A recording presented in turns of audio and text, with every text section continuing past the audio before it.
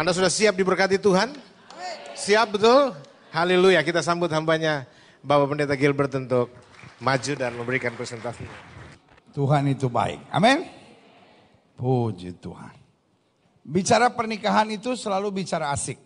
Karena pada dasarnya ada orang dunia yang bilang begini, pernikahan itu semua orang yang belum masuk pengen masuk, semua orang yang udah di dalam pengen keluar. Yang ketawa kayaknya itu kesaksian pribadinya saudara-saudara. Karena ada banyak ungkapan suka bilang begini. Kenapa ya masa pacaran lebih indah daripada masa pernikahan? Itu kalimat orang stres saudara-saudara. Karena harusnya pernikahan seribu kali lebih bahagia daripada pacaran. Yang bilang amin itu setuju, yang bilang nggak amin masa sih katanya gitu. Iya kan? Nah saudara yang kasih dalam Tuhan, dari awalnya kita harus tahu dulu what is marriage. Apa itu pernikahan?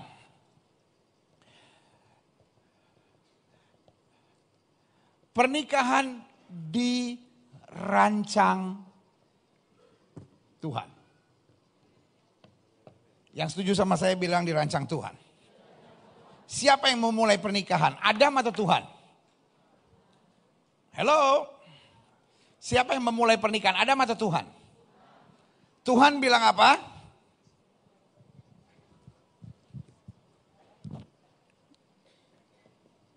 tidak baik kalau manusia itu seorang diri. Setuju? Kalau pakai bahasa lain maka tidak baik kalau manusia itu tidak menikah. Setuju? Sampai sini setuju nggak? Kira-kira sama nggak? Atau saya bikin tafsiran-tafsiran yang aneh? No, no, no.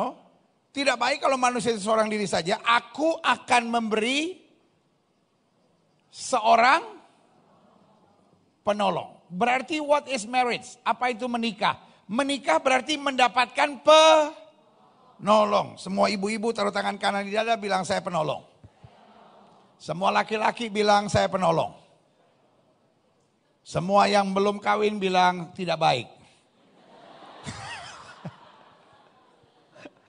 Hello, Loh, kan Alkitab bilang tidak baik kalau manusia itu seorang diri. Aku akan memberikan kepadanya seorang penolong. Berarti what is marriage? Mendapatkan pertolongan. Bu, waktu engkau menikah engkau penolong, kau bukan mamanya lakimu.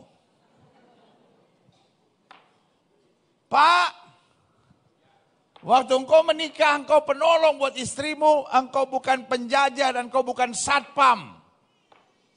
Setuju? Jelas nggak sampai di sini? Jadi kalau kita lihat di sini, menikah berarti adalah masuk dalam era kebahagiaan. Idenya sampai di sini sudah dapat nggak? Menikah berarti masuk dalam era kebahagiaan. Nah, bagaimana kalau tidak bahagia?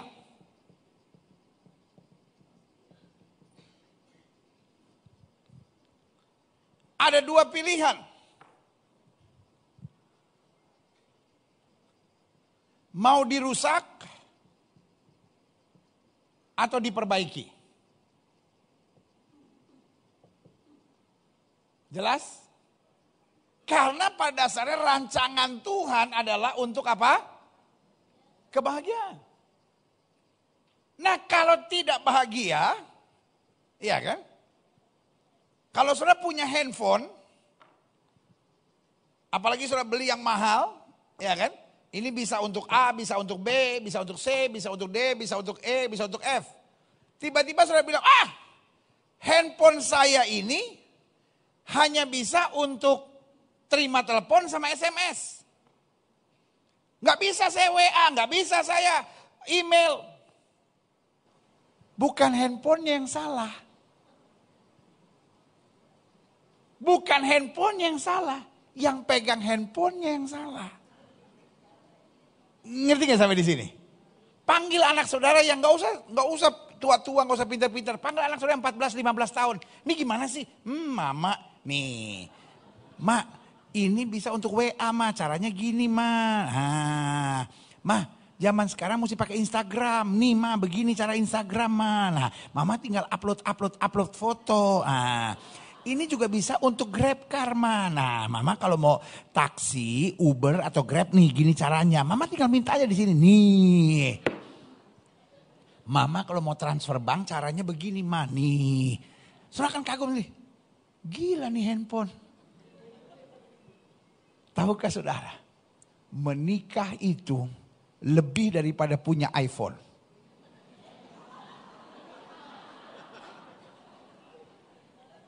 Setelah sudah menikah, mau transfer, tinggal bilang, Pak, tolong transferin, dia transfer.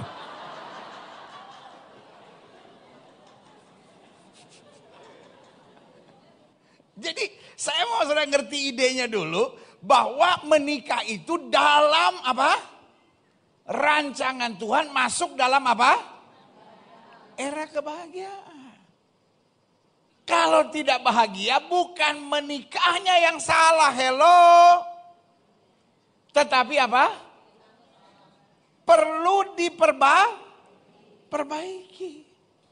Jangan dirusak karena apa?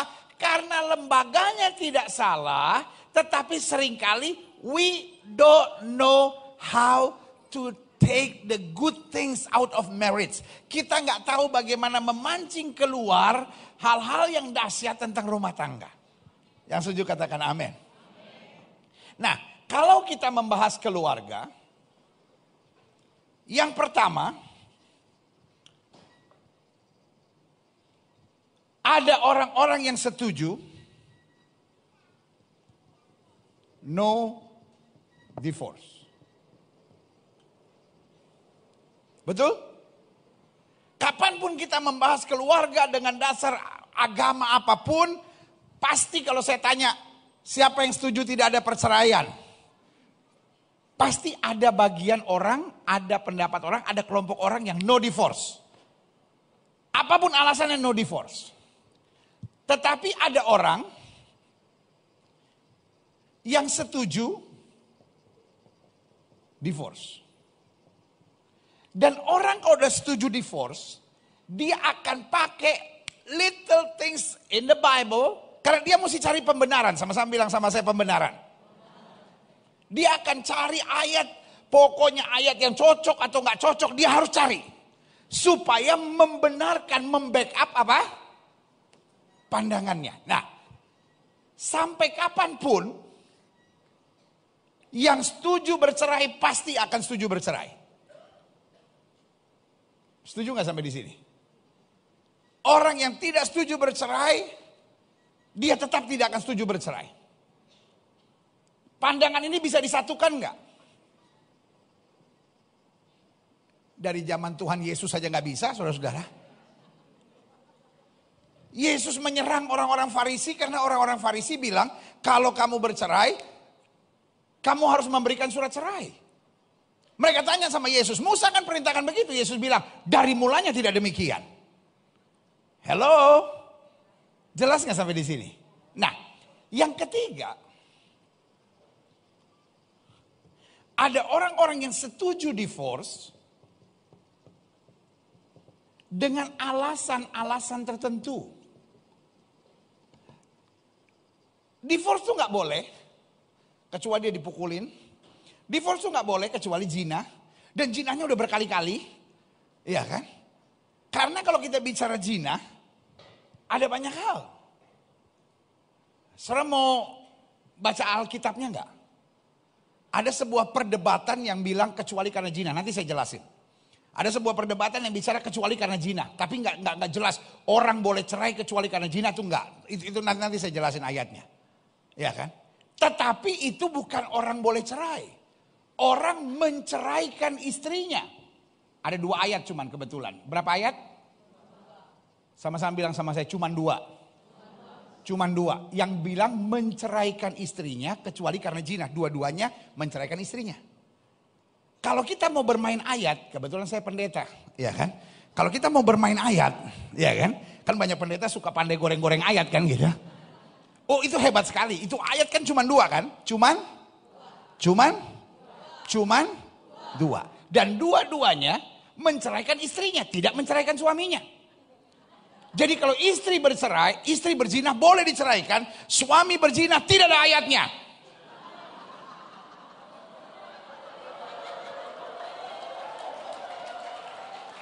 Thank you for the Bible.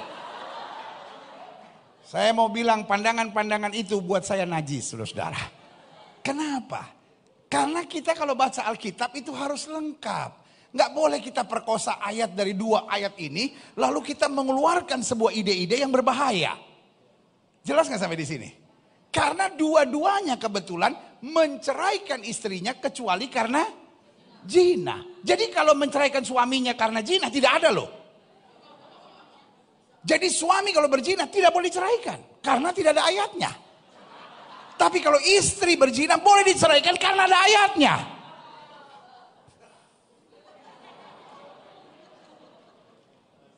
Buat saya itu memutar balikan firman yang sangat berbahaya, saudara-saudara. Ngerti nggak sampai di sini? Iya kan? Nah, jadi ada orang yang setuju divorce dengan alasan apa? Tertentu. Pendeta, kalau kita udah gak cocok ribut terus akhirnya rumah jadi neraka, boleh cerai. Sebagian bilang, hey, you know what? Apa yang dipersatukan Tuhan tidak boleh diceraikan oleh manusia. Tapi kalau kita tidak dipersatukan oleh Tuhan berarti boleh dong diceraikan. Mateng saudara-saudara. Ini kalau kita mau goreng-goreng ayat semau-mau kita nih, ya kan? Nah, lalu ada yang lagi bilang, pendeta kalau suami saya homoseks, kalau suami saya lesbian, boleh. Nah ini yang saya bilang.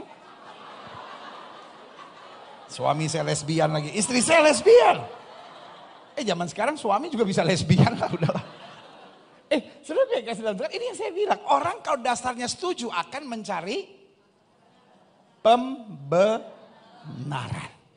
Tetapi jangan biarkan kita maunya apa, biarkan Alkitab maunya apa. Makanya saya senang dengan istilah Yesus, dari semula tidaklah demikian. Yesus tegur orang-orang Farisi karena ketegaran hatimu. Kamu cuma cari pembe pembenaran. Nah ya kan. Jadi ada yang setuju divorce dengan alasan-alasan tertentu. Alasan yang paling umum. Dipakailah ayat apa yang telah dipersatukan Tuhan tidak boleh diceraikan oleh manusia. Kalau kita tidak dipersatukan Tuhan, kita dulu dipersatukannya oleh Hansip pendeta. Kita dulu dipersatukannya karena papa mau mati, kita buru-buru disuruh nikah. Nah, ya kan ada banyak alasan-alasannya. Itu satu ayat, ya kan? Lalu yang kedua, ya kan? Yang tadi kecuali karena zina tapi nggak cocok. Kalau itu laki-laki hanya untuk perem kejam. Kejam karena cuma dua ayat dan dua-duanya kebetulan menyebut jenis kelaminnya yaitu menceraikan istri istrinya. Tidak menceraikan suaminya. Ya kan? Nah, seru nih, seru, seru, seru, seru, ya kan? Lalu ada lagi yang bilang kalau udah ada kekerasan kan bahaya. Berarti tidak boleh cerai. Ini alasan setuju divorce, alasan tertentu. Yang keempat, setuju divorce karena gini, piti Piti itu apa ya? Hah? Empati atau rasa kasihan. Baik kepada dirinya, baik kepada keluarganya atau seseorang. Jadi kita akhirnya mendukung seorang. Saya dulu sih nggak setuju divorce pendeta. Tapi saya lihat adik saya sendiri dipukulin loh pendeta. Saya tidak setuju divorce. Tapi saya lihat sendiri teman saya itu pendeta. Suaminya baik tapi istrinya jahat dia bawa laki-laki itu ke rumah loh. Dia tidur di kamarnya. Suaminya disuruh tidur sebelah. Tapi suaminya tetap setia. Terus dia sadar. Eh buat lagi. Ini yang sekarang udah ke sebelas laki-laki yang dia bawa ke rumah. Jadi menurut saya, jadi ini pakai bahasa saya, saya bilang piti dan kasuistik. Jadi untuk orang-orang tertentu untuk berzina sih nggak ada divorce. Tapi kalau jinanya udah kelewatan, nah ini yang saya bilang. Piti dan alasannya kasu kasuistik. Nah, ini pembahasan general saya dulu supaya saudara bisa punya gambaran dulu ya. Nah, kita masuk pada topik hari ini. Klik seminar pernikahan Alkitabiah. Kenapa saya bilang seminar Alkitabiah? Saya mau lihat segala sesuatunya bukan dari penafsiran dan pandangan. Saya mau menyoroti segala sesuatunya dari terang firman Tuhan. Ya, klik. Nah, saya memilih untuk memakai tema ini. Sesatkah pengajaran tentang Allah membenci perceraian? Apa pun alasannya. Kalau ada pendeta yang bilang Allah benci perceraian apa pun alasannya. Menurut saudara sesat nggak? Hello? Menurut saudara sesat nggak? Menurut saudara sesat nggak? Menurut saudara sesat nggak? Atau justru Alkitabiah? Melepaskan diri dari pengecualian-pengecualiannya. Ya kan? Buat saya, kalau ada pendeta bilang, karena gini, semua pun, semua pun yang setuju dengan perceraian akan bilang boleh bercerai tapi tidak harus bercerai. Setuju nggak? Ada nggak pendeta yang berani bilang kalau berzina harus bercerai? Kalau dipukulin harus bercerai. Kalau disakiti harus bercerai. Kebanyakan bilang boleh tapi tidak harus. Betul nggak? Jawab kenapa? Iya kan? Kan tadi saya bilang ada dua pandangan besar, satu tidak boleh bercerai, satu boleh. Nah, yang boleh pandangannya, yang boleh bercerai karena alasan-alasan tertentu, pasti pandangannya begini. Boleh tapi tidak harus. Saya boleh tambahkan nggak? Ini ada penghapusnya nggak ya? Jadi boleh bercerai Tapi eh ini live nggak? Live, live di mana? Oke. Okay. Nah, jadi buat yang di rumah, halo. Pandangannya semua, semua ini saya yakin. Kan tadi saya bilang pandangan besarnya ada satu dan dua ini. Satu setuju no divorce, satu setuju divorce. Nah yang setuju divorce rata-rata, eh, hampir semua lah akan bilang boleh bercerai tapi tidak harus. Bukan berarti kalau suami selingkuh atau istri selingkuh harus diceraikan. No, boleh tapi tidak harus. Ya, sama-sama bilang boleh tapi tidak harus. Nah, jadi kalau boleh tapi tidak harus, bahasa lainnya adalah boleh bercerai kalau sudah tidak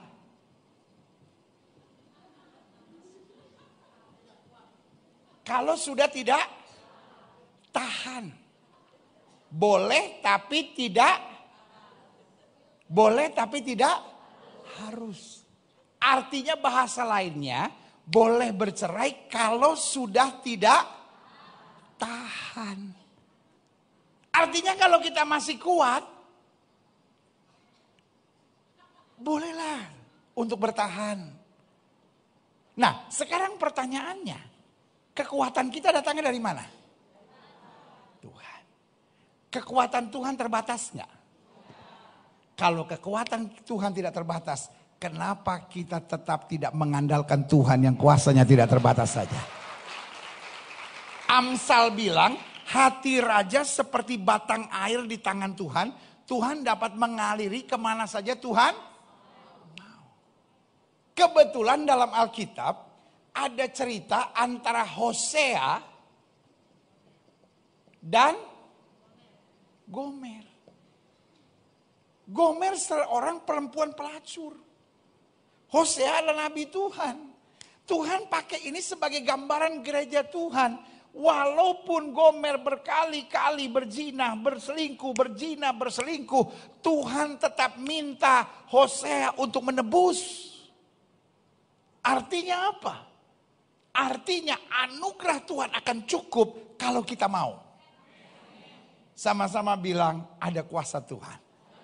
Sama-sama bilang ada mujizat Tuhan. Jelas? Makanya saya mau kasih judul Sesatkah pengajaran tentang Allah membenci perceraian apa pun alasannya atau sebaliknya atau justru Alkitabiah. Alkitab bilang Allah benci perceraian. Oh kenapa cuma pakai satu ayat? Ayat lain bilang apa yang dipersatukan Tuhan tidak boleh diceraikan oleh manusia. Loh kenapa cuma pakai dua ayat? Loh dasarnya apa? Yang sebelah cuma dua ayat dan itu-itu doang. Dan nggak jelas, kalau ini jelas. Apa yang dipersatukan Tuhan tidak boleh diceraikan oleh manusia. Alkitab bilang keduanya bukan dua tapi satu. Dalam Alkitab bahasa Inggris dikatakan they cleave.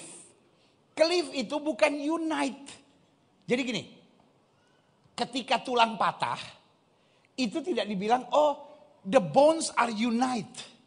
The bones are cleave. Jadi tulang-tulangnya itu kalau udah nempel kembali, jadi tulang patah nih, cleave, itu udah menjadi satu lagi. Nah kalau unite, itu masih ada titiknya untuk bisa dipatahkan lagi. Tapi kalau sudah cleave menjadi satu, itu dipatahkan pasti rusak. Ngerti nggak sampai di sini? Nah Alkitabnya itu sangat jelas. They cleave. Mereka menjadi sah, satu. Jadi seluruh dasar Alkitab pernikahan ini dalam kitab Wahyu adalah gambaran dari pernikahan anak domba dengan apa? Gerejanya. Ngerti nggak maksud saya? Jadi pernikahan jangan cuma disoroti boleh cerai atau nggak boleh cerai. Karena Alkitab bilang rahasia ini suci karena ini menggambarkan antara tubuh Kristus, ya kan, dengan Kristus yang adalah kepala kepala. Makanya Kristus datang, kata Alkitab, sebagai mempelai, mempelai laki-laki. Dan tubuh Kristus gerejanya sebagai mempelai wanita. Jadi pernikahan adalah gambaran agung. Sama-sama bilang sama saya gambaran agung. Karena gerejanya tidak boleh menceraikan Kristus. Kristus tidak boleh menceraikan gerejanya. Karena itu pernikahan juga apa yang dipersatukan Tuhan tidak boleh diceraikan oleh manusia. Jelas sampai di sini? Oke. Pemahaman orang tentang firman Tuhan ada beberapa, ya. Jadi saya bilang tentang perceraian saja secara garis besar ada yang setuju no divorce, ada yang setuju divorce. Dan yang setuju akan tetap setuju, yang tidak setuju akan tetap tidak setuju. Nggak ada gunanya kita menyatukan pandangan itu karena yang setuju akan terus mencari dasar-dasar pembenaran dan yang tidak setuju akan selalu mencari dasar-dasar pembenaran. Tetapi yang satu hal yang saya tahu, kalau ada orang bilang, saya berdiri pada pengajaran Allah benci perceraian, saya yakin dia tidak sesat. Amin. Karena dia akan bimbing orang untuk tetap kuat. Amin. Tetapi kalau orang berkata saya setuju perceraian, dapat misleading dapat membimbing orang. Orang yang tadinya sedang bertahan nih. Enggak, saya mau bertahan. Eh, boleh. Ah, cerai aja kalau gitu. Ya, gitu, betul enggak? Saudara-saudara yang suaminya lagi selingkuh, saudara-saudara yang istrinya lagi selingkuh, yang lagi mencari wajah Tuhan, minta kekuatan. Oh boleh toh. Kenapa enggak bilang dari kemarin-kemarin toh? Ya kan? Ah, saya cerai aja lah gitu ya kan. Tapi nanti saya jelaskan, kalaupun setuju cerai. Ingat, kalau sudah bercerai, lalu menikah lagi, dia pun berji, berzina. Iya kan? Jadi masih ada banyak persoalannya. Pertanyaan selanjutnya setelah bercerai, bagaimana dengan anak-anak kalau punya anak, ya kan? Jadi ada banyak kasusnya masih setelah itu. Makanya pertanyaan saya, apakah perceraian menyelesaikan masalah atau perceraian adalah awal dari berbagai masa masalah. Jadi jangan bangga dulu, boleh cerai, oh tidak boleh cerai. Saudara yang kasih dalam Tuhan, menyelesaikan masalah enggak? Amin. Iya kan? Makanya saya bilang, sesatkah pengajaran Allah benci perceraian? Mungkinkah seorang pendeta masuk neraka karena mengajar Allah benci perceraian? Saya percaya tidak mungkin. Amin. Karena kita bimbing menurut aturan fir, firman. Karena mungkin sudah menatap saya dan berkata, tapi kalau nggak boleh cerai tiba-tiba dia dipukulin istrinya sampai mati, dia dipukulin suaminya sampai mati gimana? Itu pendetanya bodoh. Kenapa? Karena saudaraku yang kasih dalam Tuhan, waktu kita bimbing orang tidak boleh cerai, bukan berarti kalau suami pukul, ayo pukul. Ya kan? Kata Alkitab kita boleh berpisah sementara untuk berdoa. Bukan bercerai, tapi berpisah sementara. Ah, nah ini, ini seru nih, ini seru aja, seru aja saudara-saudara. Sebagian saudara kalau udah ada setuju-setuju pisahnya udah amin, amin. Oh boleh tuh. Nah ya kan. Ini tetap harus dalam bimbingan. Tapi nanti kita cerita, ini seru nih. Ini bukan cuma soal setuju no divorce atau setuju divorce. Ini ini banyak saudara-saudara ya. Ini banyak persoalan. Tapi karena saya gembala dari jemaat yang olehnya Tuhan percayakan untuk saya gembalakan, saya harus arahkan jemaat dengan betul, saudara-saudara. Amin. Lihat selanjutnya. Pemahaman orang tentang firman Tuhan ada beberapa. Yang pertama, ada orang-orang yang memang mau dengar dan belajar. Mau dengar dan belajar. Iya kan? Yesus mengajar. Murid-murid bilang apa? Ahli-ahli Taurat mengajar dengan kata-kata yang indah, tetapi engkau mengajar dengan kuasa. Jadi dia mau belajar dari nggak ngerti jadi ngerti. Lalu wanita uh, apa itu namanya wanita Samaria yang sudah punya lima suami dari nggak benar ya kan dalam Yohanes pasal 4 lalu dikatakan selanjutnya di ayat-ayat selanjutnya mulai dari hari itu banyak orang di kota itu menjadi percaya karena kesaksian wanita itu. Jadi dari nggak ngerti, dari ngaco, dari nggak bisa, dia belah belajar. Yang kedua, ada orang-orang yang mau dengar, tapi tidak mau belajar. Contohnya siapa? Orang muda yang kaya. Orang muda yang kaya datang pada Yesus dan berkata, Guru, apa yang harus aku buat untuk memperoleh hidup yang kekal? Yesus berkata, ini, ini, ini, ini, ini, ini harus kamu buat. Dia bilang apa? Aku sudah turuti semua dari sejak masa mudaku. Lalu Yesus bilang apa? Pergi dan jual hartamu. Dia pergi, dia tinggalkan Yesus. Kenapa? Dia cuma mau senang dengar, tetapi dia tidak mau belah belajar. Iya kan? Orang-orang Farisi sering kali ada di pengajaran Yesus. Dia cuma mau dengar tapi lebih parah lagi. Cari kesah, kesalahan. Nah yang ketiga saya pelajari. Orang yang tidak mau dengar dan tidak mau belajar. Yang kayak gini kalau dengar pengajaran pasti cari kesalahan. Ini namanya roh Farisi dan roh ahli Taurat. Nggak mau dengar. Nggak mau belajar. Dia cuma mau cari kesalahan. Dia kalau dengar khotbah, khotbahnya 45 menit, ada satu kalimat salah, itu yang jadi dia persoalkan. Kalau perlu dia banding-bandingkan, dia cari-cari kesalahan. Nah ini the spirit of Pharisee. Dan selanjutnya yang keempat, pemahaman orang tentang firman Tuhan, orang yang mau dengar, serta sibuk dengan merasa diri yang paling benar, serta sibuk cari apa? Kesalahan orang. Nah ini nih, saya khawatir di gereja hari-hari ini banyak orang begitu. Makanya bertahun-tahun dia masuk gereja berselingkuh jalan terus, berzina jalan terus, dan dia mencari pembenaran. Saya sih tahu pendeta berselingkuh nggak boleh, tapi saya berselingkuh karena suami saya udah kelewatan. Saya berselingkuh karena istri saya udah kelewatan.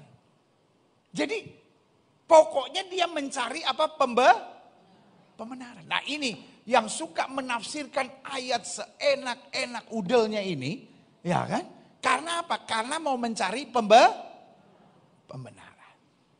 Saudaraku yang kasih dalam Tuhan. Farisi, Farisi dan ahli-ahli Taurat. Di zaman Yesus saja tidak bisa bertobat. Karena memang hatinya sudah ke keras. Mereka tahu segala sisi firman Tuhan hanya untuk membenarkan dirinya, bukan untuk mencapai kemuliaan Allah. Karena itu hari ini saya ada di sini untuk setiap orang yang mau buka hati. Untuk orang-orang yang mau menerima pengajaran. Untuk orang-orang yang mau dikuatkan. Untuk orang-orang yang mau hidup dalam kemuliaan Tuhan. Karena saya percaya kalau kita tidak miring ke kiri maupun miring ke kanan hidup kita akan diberkati. Yang setuju katakan amin. Untuk setiap orang yang mau mencari pembenaran saya bilang, urusan saudara sama Tuhan bukan sama saya.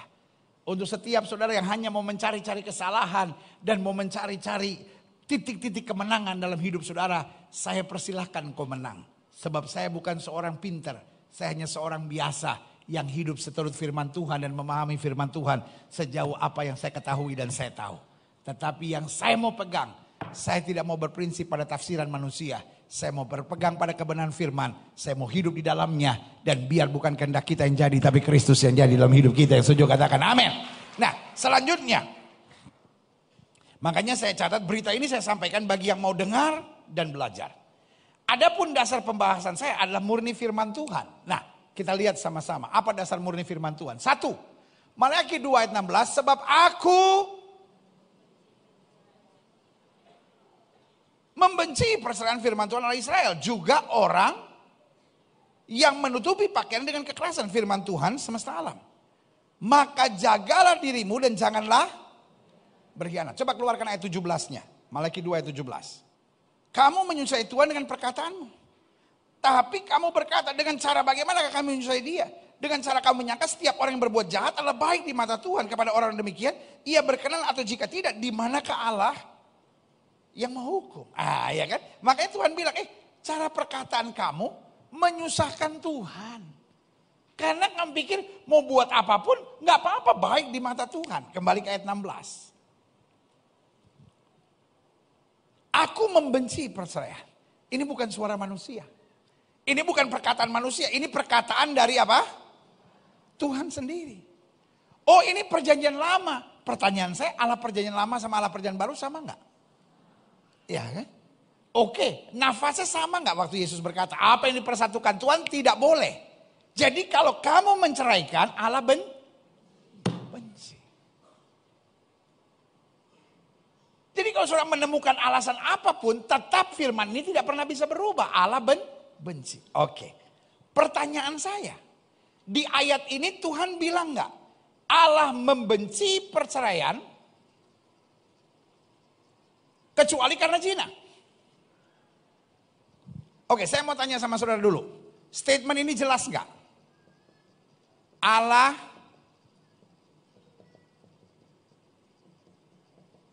perlu diterjemahkan nggak? Perlu ditafsirkan nggak? Statementnya sudah cukup jelas nggak? Allah membenci perceraian. Ada kecualinya nggak? Ada kecualinya nggak? Berarti alasan apa pun Tuhan membenci perceraian. Buat setiap saudara yang menatap saya dan berkata, pendeta saya bergumul tujuh tahun untuk suami saya. Dan puji Tuhan sekarang rumah tangga saya bahagia. Saya beri nama engkau pahlawan. Buat setiap saudara yang berkata, pendeta saya bergumul 14 tahun untuk mempertahankan rumah tangga saya. Saya beri nama engkau pahlawan. Karena apa pun alasannya. Di luar sana ada banyak pengedar narkoba yang lahir. Kenapa? Dari keluarga yang broken home. Di luar sana ada orang-orang yang jual diri. Jadi perempuan malam yang lahir dari keluarga broken home. Kalau karena kasih Tuhan kau mempertahankan keluarga. Saya beri nama kau pahlawan. Karena firman Tuhan berkata Allah benci perceraian. Amin. Lalu pertanyaan saya selanjutnya, apakah orang-orang yang bercerai, apakah orang-orang yang sudah diceraikan adalah orang-orang yang dibenci Tuhan? Jawaban saya sederhana. Orang-orang bercerai yang bertobat, orang-orang bercerai yang datang pada Tuhan, orang-orang yang diceraikan yang mengasihi Tuhan, Allah orang-orang dikasihi Tuhan. Jadi jangan berkata bahwa Allah benci perceraian, lalu semua orang yang bercerai, semua orang yang diceraikan adalah orang-orang terkutuk. No, no, no, no. Masih ada satu kata yang bernama pertobatan. Kenapa perlu bertobat? Karena sa Ngerti nggak maksud saya di sini? Karena salah satu argumen dari orang-orang yang setuju dengan perceraian. Oh pendeta-pendeta yang anti perceraian adalah pendeta-pendeta yang menaruh rasa bersalah pada orang yang bercerai. Lu memang rasa bersalah. Allah benci perceraian, dia melakukan sesuatu yang Tuhan benci kok. Iya kan? Tapi kalau saya diceraikan gimana? Loh, ada orang-orang yang sewa pengacara khusus untuk bertahan di pengadilan supaya tidak bercerai kok. Tapi kemudian diceraikan, orang yang diceraikan tidak bersalah. Dia mau menyelamatkan keluarganya. Dia pun mendapat kasih karunia dari Tuhan. Jelas sampai di sini? Ya kan? Nah, kita kembali ya. Waktu Allah berkata Allah membenci perceraian, ada kata kecuali enggak? Ada kata kecuali enggak? Pertanyaan saya, apakah Tuhan berubah-ubah? Nanti dia bilang kecuali, nanti dia bilang enggak. No, no, no. My God is final. Tuhan saya semua yang dinyatakan ya dan amin. Amin. Semua perkataan firman harus kita pegang. Enggak perlu kita pilah-pilah. Tetapi yang masih perlu dipertanyakan, perlu kita lihat kebenarannya. Perlu kita lihat tafsirannya, perlu kita lihat kondisinya, perlu kita lihat keberadaannya. Tetapi yang seperti ini sudah jelas. Allah membenci perceraian tanpa kecuali. Jelas? Oke, lihat selanjutnya. Ah, Gilbert cuma pakai satu ayat saja. No, no, no, no, no, no. Tadi sudah saya bilang bahwa pernikahan adalah gambaran gereja Tuhan, pernikahan adalah gambaran pernikahan dimulai dari kejadian bahwa Allah menjadikan penolong karena itu indah, tidak perlu dirusak. Kalau ada hal-hal yang merusak, kita yang harus perbaiki sampai kitab Wahyu bicara dari seluruh kejadian sampai Wahyu itu bicara tentang kesatuan pernikahan dan bukan perceraian. Amin. Jadi bukan satu ayat, seluruh Alkitab, Bos. Iya kan? Lihat selanjutnya, lihat selanjutnya. Markus 10 ayat 8 sampai 9. Sehingga keduanya itu menjadi satu daging. Mereka bukan lagi dua melainkan bisa dipecah nggak kalau satu? Tidak bisa. Satu. Karena itu apa yang telah dipersatukan Allah tidak boleh diceraikan manusia. Berarti kalau ada upaya menceraikan dia bukan manusia. Karena tidak boleh diceraikan oleh manusia. Hakim manusia enggak? Hakim manusia enggak? Hakim tidak berhak menjatuhkan palu dan berkata cerai. Saudara, saudara ambil paspor di mana? Siapa yang berhak mencabut paspor saudara? Mertua saudara berhak enggak? Siapa yang berhak mencabutnya? Petugas. Saudara dinikahkan di mana? Saudara dinikahkan di mana? Gereja yang berhak mencabut surat pernikahan saudara, bukan pengadilan. Nikah kok di gereja, cerai kok di pengadilan. Aturan dari mana? Ngerti nggak maksud saya? KTP saudara bisa dicabut oleh siapa? Polisi bisa cabut KTP saudara nggak? Nggak bisa. Yang bisa polisi bisa cabut apa? SIM. Kenapa? SIM yang ambil polisi uh, apa tuh namanya imigrasi bisa cabut SIM saudara nggak? Nggak bisa. Karena yang keluarkan polisi yang bisa cabut polisi. Pernikahan dikeluarkan oleh siapa? Gereja. Catatan sipil hanya mencatat apa yang dicatat oleh apa yang diberkati oleh gereja. Berarti yang berhak untuk keluarkan adalah gereja. Jadi baik hukum Alkitabnya maupun hukum log logiknya Nggak masuk saudara-saudara. Jelas nggak mau saya? Makanya kita boleh bilang apa yang dipersatukan Allah tidak boleh diceraikan oleh manusia. Kan yang mempersatukan Allah. Lembaga yang harus menceraikan adalah Allah. Bagaimana Allah menceraikan? Mampus.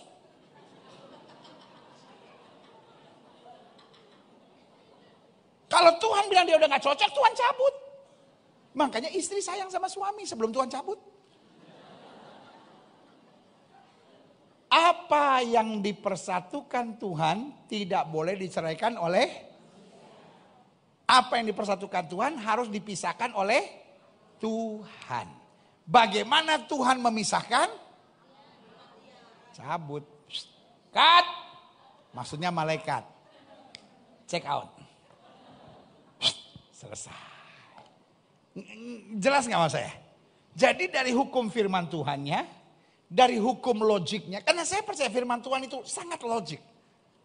Firman Tuhan itu gak aneh-aneh gitu. Oh iya, ini begini, banyak mulut gitu, banyak ngomong gitu. No, no, no, firman Tuhan itu semuanya jelas gitu. Semua hal dalam firman Tuhan berkaitan dan beru, berurutan. Jelas ya? Jelas ya? Sampai di sini ya. Makanya bukan cuma satu ayat, tapi ayat selanjutnya. Jadi seluruh makna firman Tuhan itu bicara tentang Allah benci perceraian. Keduanya bisa satu lagi, demikian mereka bukan lagi dua, melainkan satu. Karena apa yang telah dipersatukan Allah tidak boleh diceraikan manusia. Klik selanjutnya. Ini ayat-ayatnya dulu ya kita bahas ya.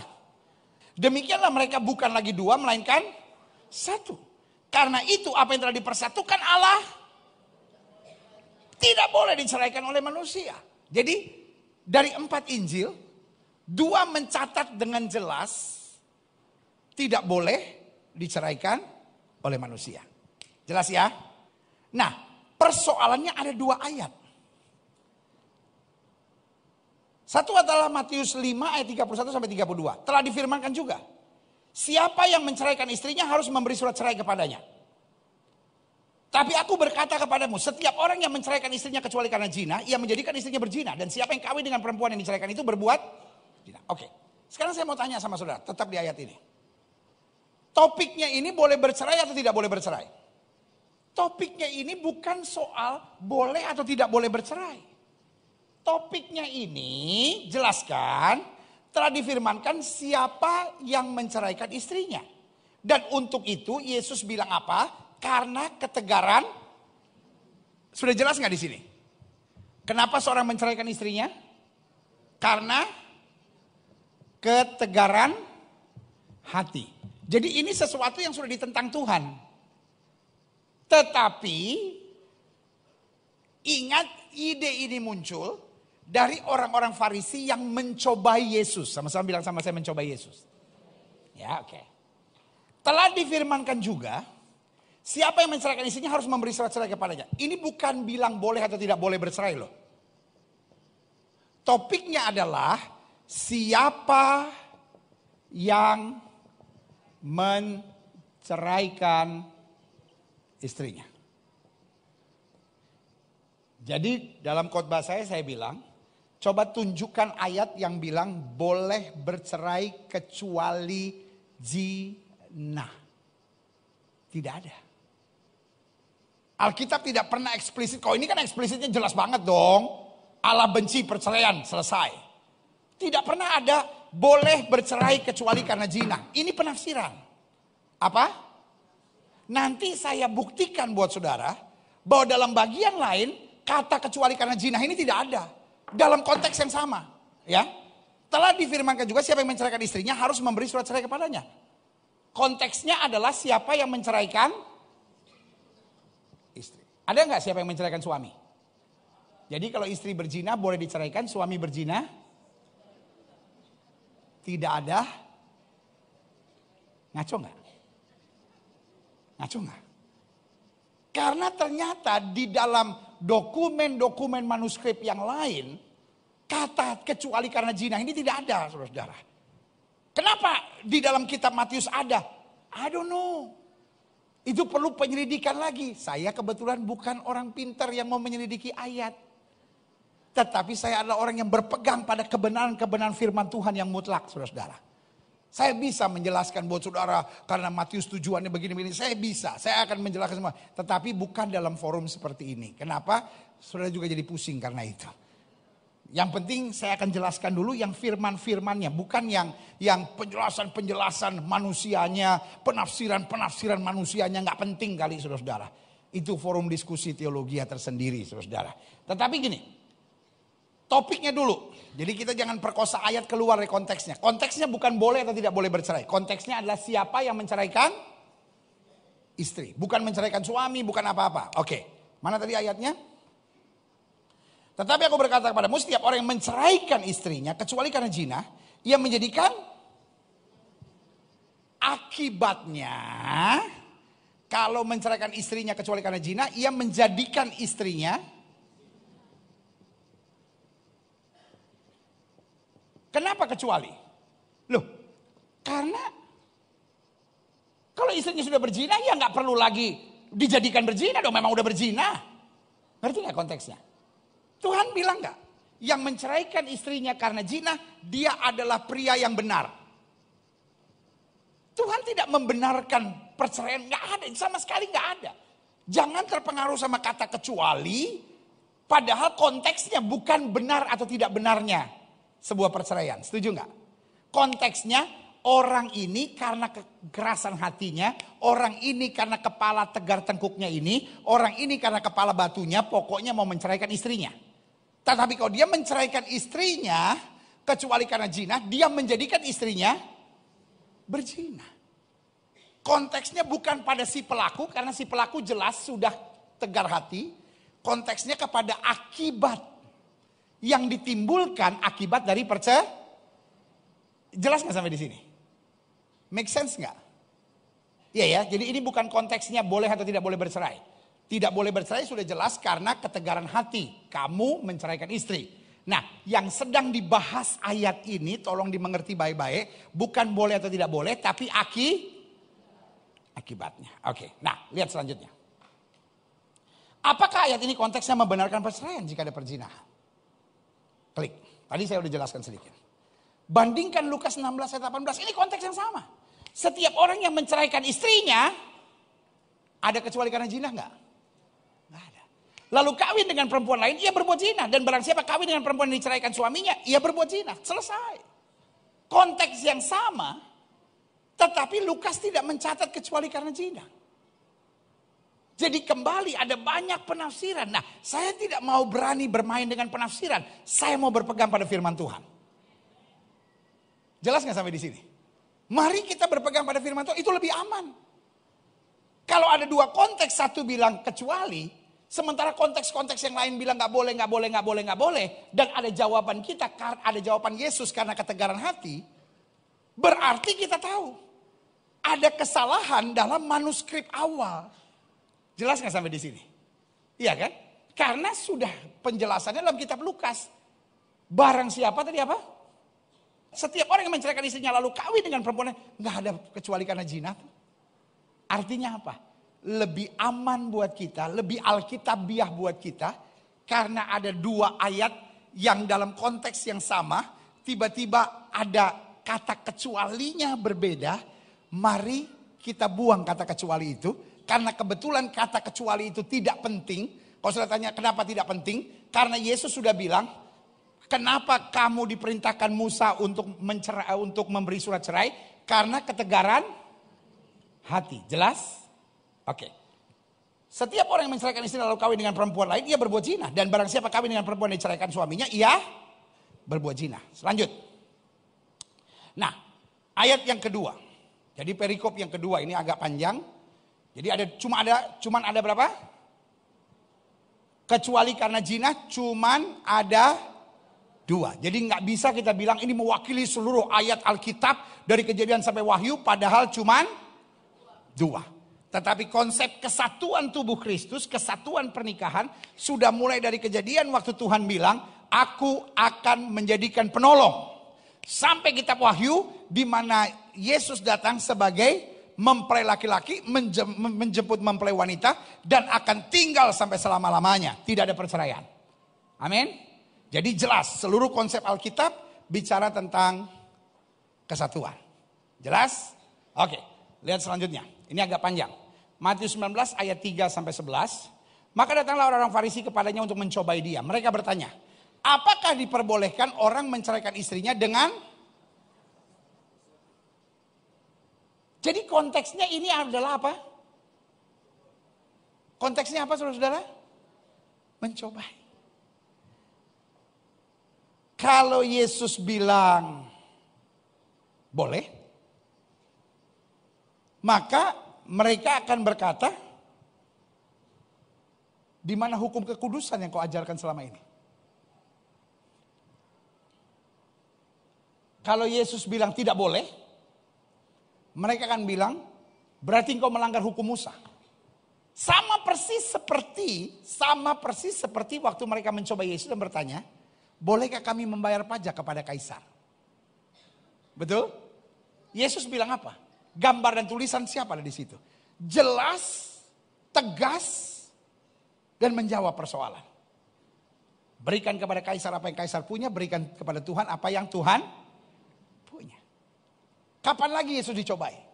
Ketika seorang wanita tetangga bahasa berbuat zina diseret di depan Yesus. Guru menurut hukum Musa dia harus dilempar batu sampai mati. Kalau Yesus bilang lempar, mereka akan bilang di mana hukum kasihmu? Kalau Yesus bilang jangan lempar, mereka akan bilang engkau melanggar hukum Musa. Yesus dicobai. Lalu kemudian, jadi gini, kita kalau baca Alkitab tuh jangan kita comot-comot sembarangan. Kita tahu dulu konteksnya, saudara-saudara.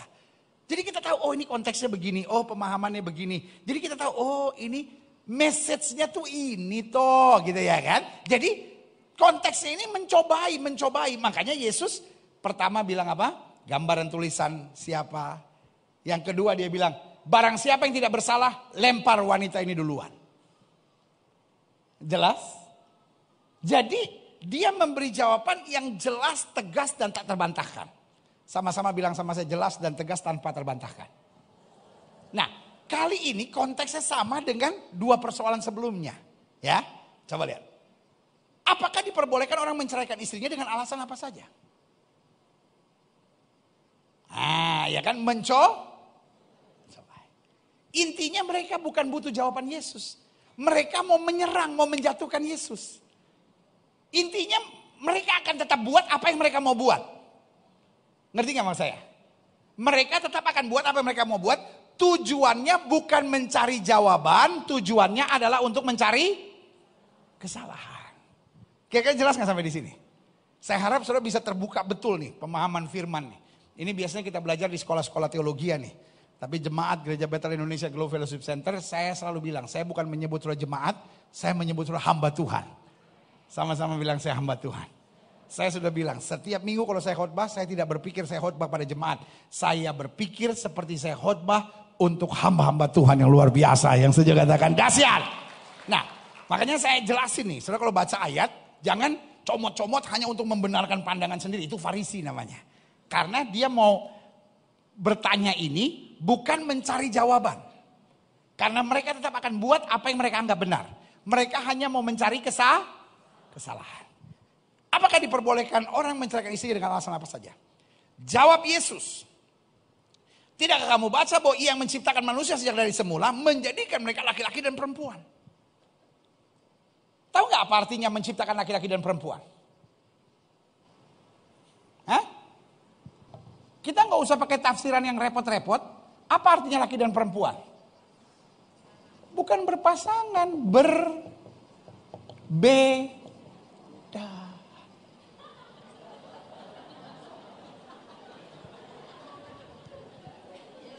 Iya dong.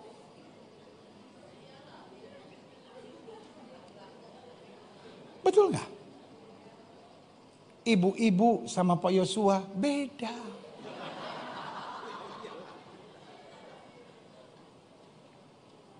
Ibu-ibu boleh pakai baju laki. Laki-laki nggak bisa pakai baju perempuan. Ibu-ibu boleh tidak pakai lipstik. Laki-laki tidak boleh pakai lipstik. Itu curangnya perempuan. Perempuan boleh pakai celana jeans laki-laki. Tapi laki-laki nggak boleh pakai kulot perempuan. Makanya sepatu laki bisa dipakai oleh perempuan. Iya kan? Laki-laki pakai sepatu-sepatu sneaker gini, perempuan boleh pakai yang laki-laki pakai. Suami sudah punya asal ukurannya sama bisa sudah pakai. Tapi istri saudara punya hak tinggi, nggak boleh bapak pakai. Kurang mantap gitu. Masuk kebaktian, shalom. Ada amin. Kurang mantap saudara. Sampai di sini ngerti nggak mau saya? Jelas nggak? Iya kan? Jadi laki dan perempuan gak usah pakai tafsiran yang repot-repot. Saya selalu bilang, kita lihat aja Alkitab as is. Menciptakan laki dan perempuan artinya berbe berbeda. Karena berbeda artinya ada potensi konflik. Jelas nggak? Bisa ribut, bisa selingkuh, bisa kecewa, bisa berpikir nggak cocok karena dasarnya adalah jelas nggak? Jelas nggak yang Alkitab ngomong? Iya kan? Ya, jadi jelas ya. Sekali lagi kita kembali. Jawab Yesus tidak kamu baca bahwa ia menciptakan manusia sejak semula menjadikan mereka laki-laki dan perempuan. Artinya berbeda dan memiliki potensi konflik. Lihat selanjutnya, klik. Ah. Dan firmannya, Sebab itu laki-laki akan meninggalkan ayah dan ibunya dan bersatu dengan istrinya sehingga keduanya menjadi satu daging. Demikian mereka bukan lagi dua melainkan satu karena itu apa yang telah dipersatukan Allah. Boleh saya tanya sama saudara? Selesai nggak? Selesai nggak jawaban Yesus? Selesai. Pertanyaan pertama Apakah seorang boleh menceraikan istrinya dengan alasan apa saja? Termasuk penderitaan, perselingkuhan, perjinan atau apa pun Yesus selesaikan di ayat yang ke-6 ini. Mereka bukan lagi dua, melainkan satu. Apa yang telah dipersatukan Allah tidak boleh diceraikan. Selesai. Masuk ayat yang ketujuh. Masuk ayat yang ketujuh. Setelah lihat ada hubungannya sama pertanyaan pertama enggak? Tidak. Ini pertanyaan kedua. Nah, makanya kalau baca Alkitab harus pinter, saudara.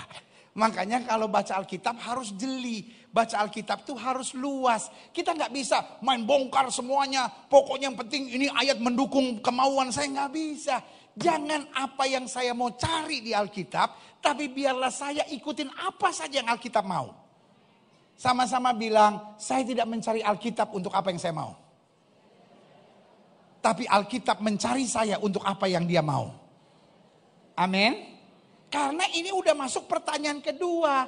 Kata mereka kepadanya, demikian apakah sebabnya Musa memerintahkan untuk memberikan surat cerai jika orang menceraikan istrinya. Jadi pertanyaan pertama udah jelas nggak? Apa yang dipersatukan Allah tidak boleh diceraikan oleh manusia. Berhubungan dengan dua pencobaan atau pertanyaan-pertanyaan pencobaan, kita sudah bisa lihat, Yesus akan jawab diplomatis, tapi tegas, jelas dan selesai. Amin.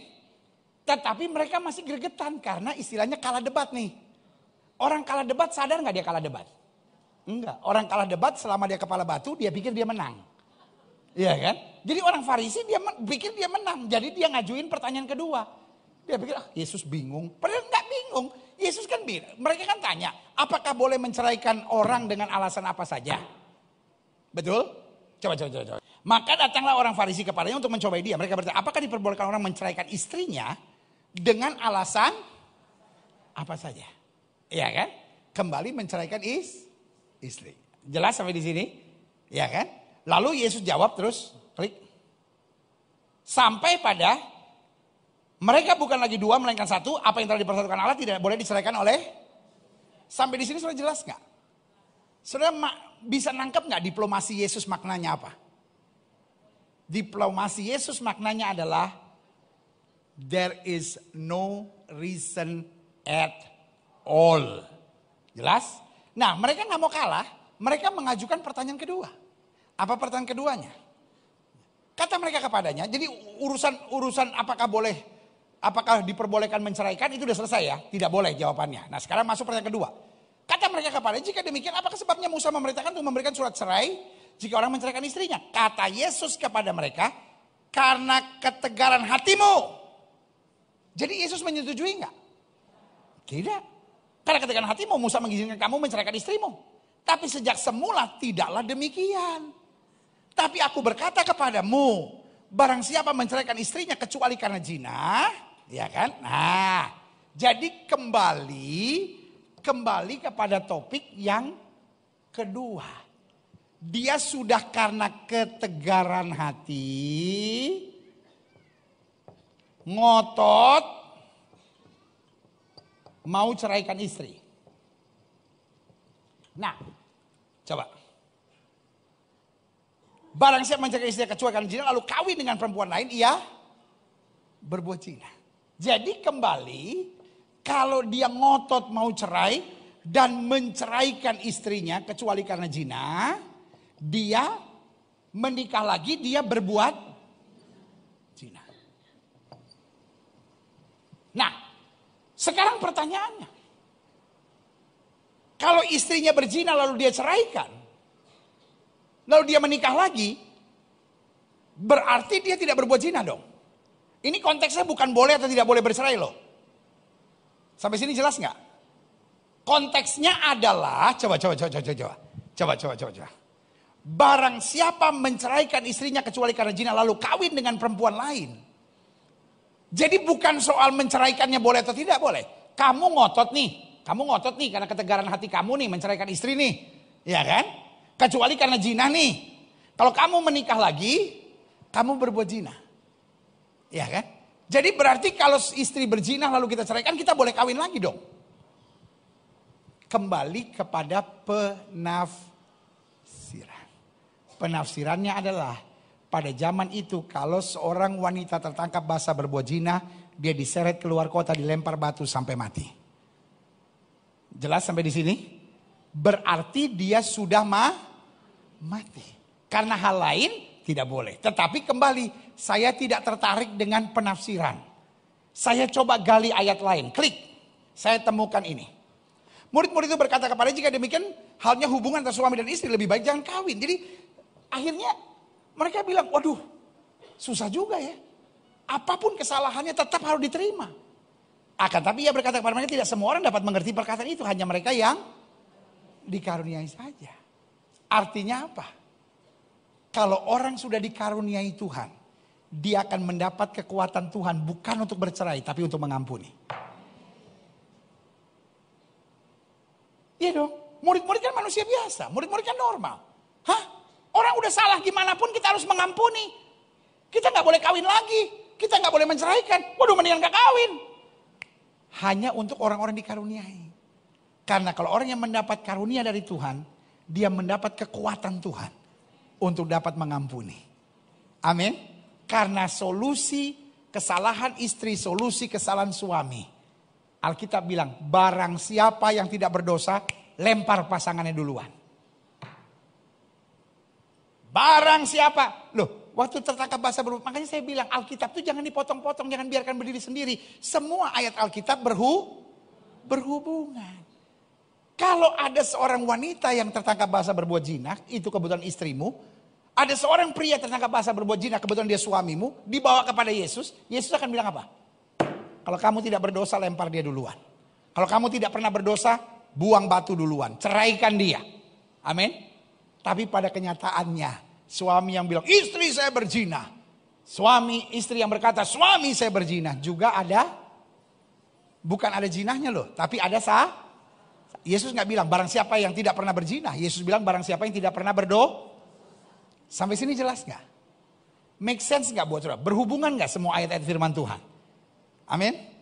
Saya comot-comot Alkitab menurut mau-mau saya nggak? No. Saya buka Alkitab dari seluruh konteksnya dan saya harap sudah bisa memahami. Isi hati Tuhan adalah barang siapa yang dikaruniai, dia akan mengerti. Kalau saya menghadapi kesalahan pasangan dan suami saya yang seperti saya bilang tadi, ada perbedaan dan potensi konflik, maka saya harus menyelesaikannya dengan pengampunan dan kasih. Berikan tepuk tangan yang meriah buat Tuhan. Selalu saya bilang divorce is never ever a solution. Di balik perceraian yang ada kepahitan. Kalau masih ada tangan Tuhan. Makanya saudara, salah satu solusi yang nanti saya tawarkan adalah konseling pranikah dalam keluarga, konseling pranikah dalam gereja harus dikuatkan. Gereja yang olehnya Tuhan percayakan untuk saya gembalakan, gereja yang olehnya Bapak Ibu sudah berada di gereja ini namanya Glow. Setiap orang yang menikah itu akan menghadapi konseling pranikah 17 sesi. Segala hal tentang pernikahan dikupas di sana. Setelah 17 sesi ketemu saya kira-kira 2 jam. Dan sebelum konseling pranikah saya selalu ngomong begini. Ketika gereja kita menikahkan kalian, gereja bertanggung jawab 100%. Artinya kapan pun kalian ada masalah, please come back to see us. Tolong kembali datang ke kita Jangan tunggu ribut dulu. Ada perbedaan pandangan kecil saja yang kamu gak bisa selesaikan. Datang ke gereja biar gereja menengahi kalian. Jangan tunggu masalah jadi besar. Nggak ada perselingkuhan bisa terjadi. Nggak ada persoalan apa pun besar bisa terjadi. Kecuali kalian mengeraskan hati. Dasarnya memang pengen cerai saudara-saudara. Khusus untuk gereja ini loh. Ya kan? Nah persoalannya ya kan. Kadangkala kita nggak ada konseling pranikah. Jadi perjanjian nikah juga nggak disadari, cuman bimbingan-bimbingan nggak jelas. Lalu pas hari pernikahan juga nggak tahu apa gunanya janji nikah, apa artinya berdiri di hadapan altar Tuhan, apa artinya bilang aku menerima engkau sebagai suamiku yang sah dan satu-satunya, gitu. Jadi solusinya jelas, dipersiapkan matang supaya tidak membuka celah untuk iblis masuk. Jelas nggak sampai di sini? Ya, nanti saya jelaskan beberapa solusi-solusinya ya. Klik. Apakah konteks nas ini juga membenarkan perceraian jika ada perzinahan? Tadi sebagian sudah saya jelaskan ya, klik. Ternyata Markus pasal 10 ayat 2 sampai 11 itu mengcounter. Jadi rupanya kembali sama dengan cerita Matius tadi. Nah, Matius 10 ayat 2 sampai 11. Maka datanglah orang Farisi untuk mencoba Yesus. Mereka bertanya, apakah seorang suami diperbolehkan menceraikan istrinya? Sekarang saya mau tanya, konteksnya sama nggak? Cuman wordingnya beda kan? Contohnya di Matius bilang apa saja. Ya kan? Lalu di sini nggak ada kata apa saja. Tapi jawabnya kepada mereka, apa perintah Musa kepada kamu? Karena Yesus tahu Yesus sedang dicoba. Dicobai. Klik. Jawab mereka, Musa memberi izin untuk menceraikan dengan membuat surat cerai. Saudara lihat nggak wordingnya sedikit berbeda. Tapi maknanya tetap sama kan? Artinya konteksnya baik Matius maupun Markus sedang sama-sama melihat Yesus di titik yang sama. Setuju nggak? Cuman masing-masing memberi laporan. Lalu kata Yesus kepada mereka, justru karena ketegaran hatimu maka Musa menuliskan perintah itu untuk kamu. Kembali sama. Karena ketegaran hati, karena kamu mau ngo, ngotot. Lalu kata Yesus, justru karena ketegaran hatimu. Sebab pada awal dunia Allah menjadikan mereka laki-laki dan perempuan. Sama ya. Berbeda. Lihat selanjutnya, klik. Sebab itu laki-laki akan meninggalkan ayah dan ibunya dan bersatu dengan istrinya. Sehingga keduanya menjadi satu daging. Demikian mereka bukan lagi dua. Maka satu. Karena itu apa yang telah dipersatukan Allah tidak boleh. Sama nggak semua konteksnya? Sama ya. Cuma wordingnya sedikit agak berbeda ya. Lihat selanjutnya. Klik. Aha. Ketika mereka sudah di rumah, murid-murid itu bertanya pula kepada Yesus tentang hal itu. Lalu katanya kepada mereka, barang siapa menceraikan istrinya, lalu kawin dengan perempuan lain, ia hidup dalam perjinahan terhadap istrinya itu. Ada nggak kecuali karena zina? Ada nggak kecuali karena zina? Berani nggak kita menggantungkan satu ajaran kita yang sangat serius tentang pernikahan hanya kepada ayat sederhana yang ketika kita lihat di bagian lain dalam Alkitab tidak ada. Hello, berani nggak kita menggantungkan sebuah ajaran yang sangat serius hanya dari dua penafsiran yang berbeda? Kalau saya nggak berani, buat saya firman Tuhan yang jelas itu yang lebih saya pegang. Tidak butuh penafsiran kok. Dan saya yakin kalau kita mempertahankan rumah tangga kita apa pun alasannya. Tuhan akan menguatkan kita. Setuju nggak saudara? Kenapa? Karena tidak ada dasar yang kuat. Karena waktu dibagi dalam bagian yang lain, yang lain itu tidak menjelaskan. Jadi saudaraku yang kasih dalam Tuhan, bisa terjadi penambahan manuskrip, bisa terjadi karena ingin menjelaskan sesuatu dalam konteks tertentu. Dan ini membutuhkan penafsiran yang sangat panjang. Daripada kita sibuk sama penafsiran lebih baik apa yang tertulis yang sudah nyata-nyata benar. Setuju? Karena intinya yang tidak setuju perceraian juga sama. Boleh bercerai tetapi tidak harus. Artinya apa mereka juga nggak punya pegangan yang jelas kok. Mereka nggak berani. Mereka nggak bilang harus bercerai. Kalau saya berani bilang harus dipertahankan. Karena Tuhan yang sama yang berkata Allah benci perceraian. Tuhan yang sama yang berkata bagiku tidak ada perkara yang mustahil. Yang setuju berikan tepuk tangan yang mereka. Ngapain kita pegang sesuatu yang nggak jelas? Betul nggak? Boleh bercerai tapi tidak harus artinya kamu boleh bercerai kalau sudah tidak tahan. Lu bertahan saja. Kan Alkitab bilang orang yang bertahan sampai kesudahannya itu yang beroleh selamatnya. Jelas nggak? Jadi sengaja saya adukan dua ayat ini. Satu ada kecualinya. Satu tidak ada dalam konteks yang sama. Jadi di manuskrip-manuskrip tertentu dalam penjelasan awalnya ini. Yang akhirnya membutuhkan penafsiran. Saya nggak berani menggantungkan ajaran saya pada penafsiran. Saya nggak berani gantungkan ajaran saya yang sangat penting ini hanya dengan dua ayat sederhana yang gak punya konteksnya selanjutnya. Tentang perceraian. Karena yang saya percaya waktu Yesus bicara perzinahan. Wanita tertangkap basah berbuat zina. Yesus gak bilang lempar batu. Yesus gak bilang buang dari masyarakat. Yesus bilang apa? Kalau kamu tidak berdosa lempar wanita ini duluan. Suami-suami yang sedang mau menceraikan istrinya karena menurut dia istrinya berzina. Izinkan saya bertanya, lu ada dosa nggak? Kalau lu tidak ada dosa, ceraikan. Ayatnya mana? Yesus bilang. Kalau tidak berdosa lempar wanita itu dengan batu. Hukum dia. Ceraikan dia. Tapi kalau engkau ada dosanya juga bertobatlah. Ampuni. Sama seperti Tuhan perintahkan kepada Hosea. Ambil Gomer. Karena dia adalah teman perjanjianmu. Dalam kitab Maleaki dikatakan istri itu teman pewaris. Satu tubuh. Menjadi warga kerajaan sorga bersama. Yang setuju katakan dahsyat. Istri-istri yang sedang berpikir untuk menceraikan suaminya. Pertanyaan saya sederhana. Lu ada dosa nggak? Kalau nggak ada dosa, hukum, ceraikan dia. Tapi kalau kau ada dosa, bertobat.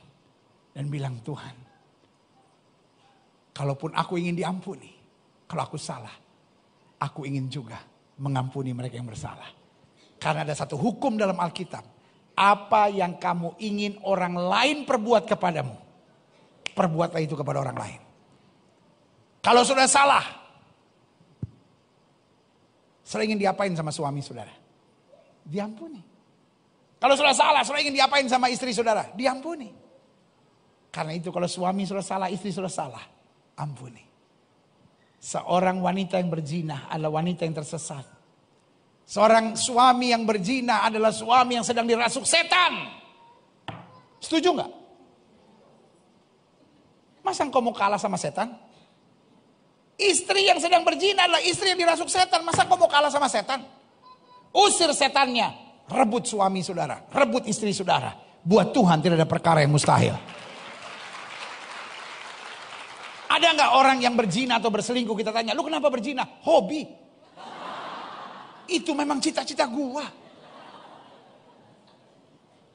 Sepakat nggak saudara sama saya? Orang yang berzina adalah orang yang kerasukan setan.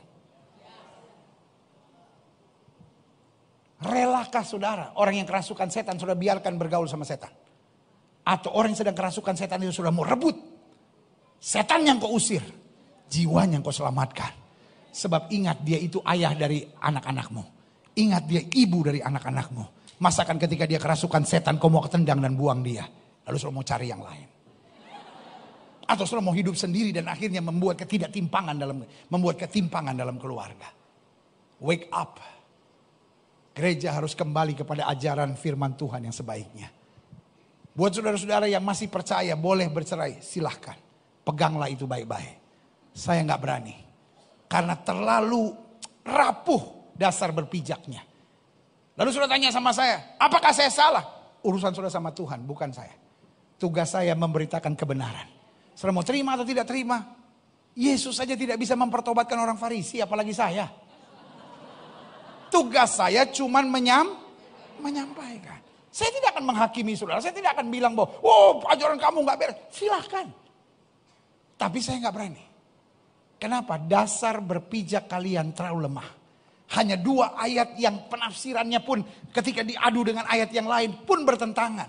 Sehingga terlalu riski harus membutuhkan penafsiran dari ini, penafsiran dari ini, penafsiran dari ini. Padahal ngapain repot-repot? Alkitab sudah bilang Allah benci perceraian. Dari awalnya itu karena ketegaran hatimu selesai. Allah tidak pernah menghukum penzina, tapi Allah minta penzina diam, diampuni. Klik, lihat selanjutnya. Perzinahan dalam pemahaman Kristus, sekali lagi saya ulangi.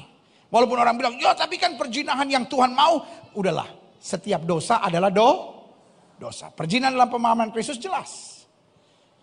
Klik. Matius 5 ayat 27 sampai 28. Kamu telah mendengar firman, jangan berzina. Ada yang bilang begini. Tetapi bahasa aslinya untuk perceraian. Ini mulai bahasa aslinya nih ya, mulai bahasa aslinya nih ya. First of all, yang ngomong bahasa aslinya dia nggak ngerti bahasa aslinya, dia cuma baca. Dia cuma baca tafsiran, saudara-saudara. Dia nggak ngerti bahasa aslinya, nggak ngerti, saudara-saudara. Dia cuma bah baca. Dia cuma belajar setahun dua tahun. Dia nggak ngerti saudara. Kalau kita nggak ngerti jangan cuma percaya sama buku. Kita percaya firman Tuhan saja bos. Karena saya juga baca. Saya juga nggak ngerti. Saya bukan orang Yunani. Saya nggak bisa bahasa Yunani saudara. Saya belajar sih. Bahasa-bahasa Yunani. Baca bukunya apa-apa. Ya kan, tapi saya tidak bisa bilang saya ngerti bahasa Yunani. Kenapa? Karena gua nggak ngomong bahasa Yunani. That is not my mother language.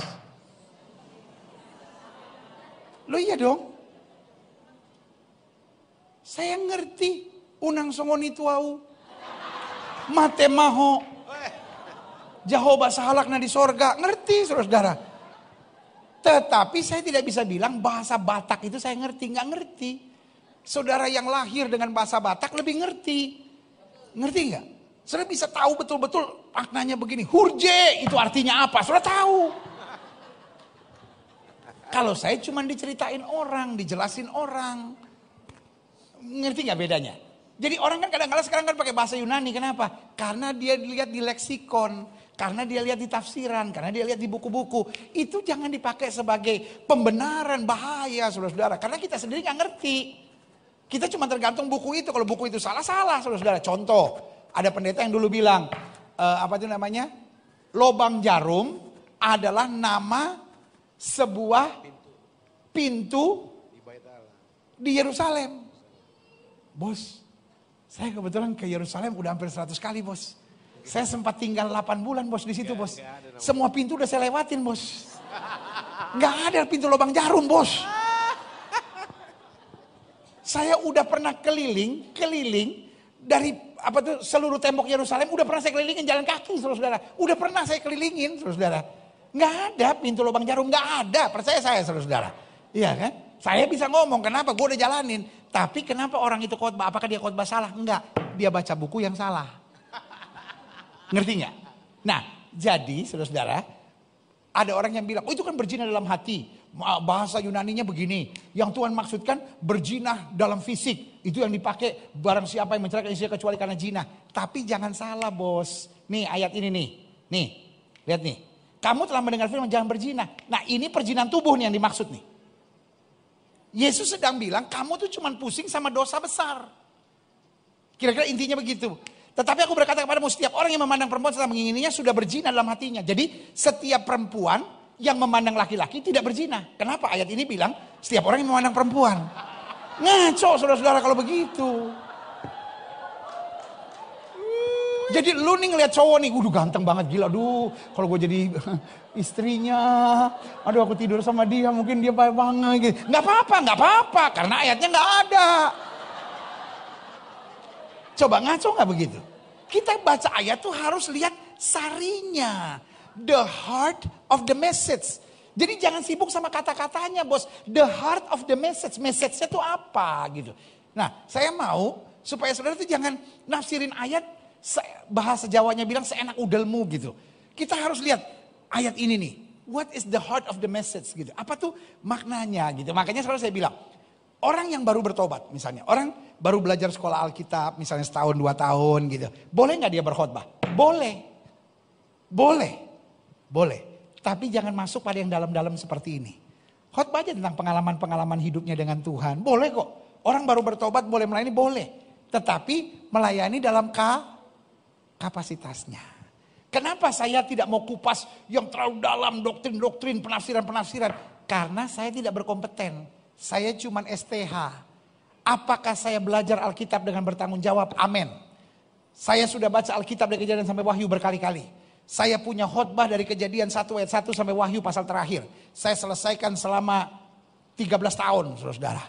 13 tahun saya selesaikan kejadian satu ayat satu wahyu terakhir ayat terakhir. Saya sudah selidiki semua, saya sudah baca semua, saya sudah gali semua. Tapi apakah saya ngerti semua?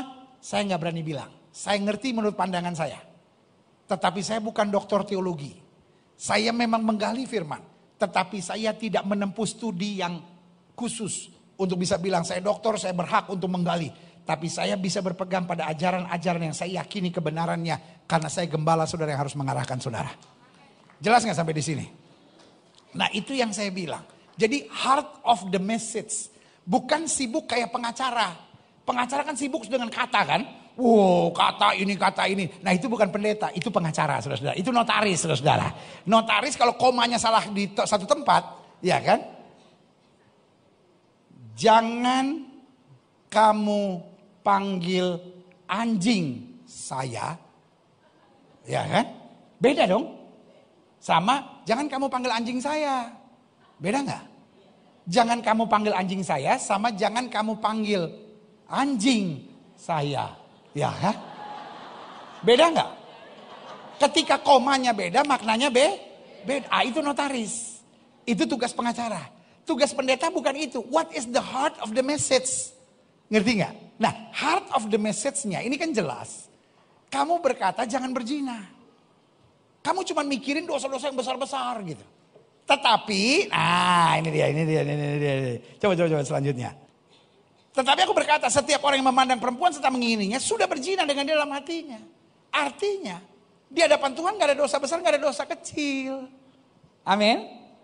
Jadi kita nggak bisa, oh kalau dia sampai berzina boleh diceraikan. Kalau cuma colek-colekan, pegang-pegangan, pecet-pecetan nggak apa-apa. Aturan dari mana? Pak, Papa berzina ya? Enggak. Saya nggak sampai tidur cuma pencet-pencetan. Lu pikir saklar lampu main pencet-pencetan? Sambarang ngoni-ngoni semua ini. Ngerti nggak mau saya? Jadi Alkitab sedang ajar, ayo jangan main-main. Little tiny things, sin is sin. Dosa adalah dosa. Kita lihat selanjutnya. Nah, bagaimana dengan janji nikah? Amos 3 ayat 3 bilang, berjalankah dua orang bersama-sama jika mereka belum Berjanji.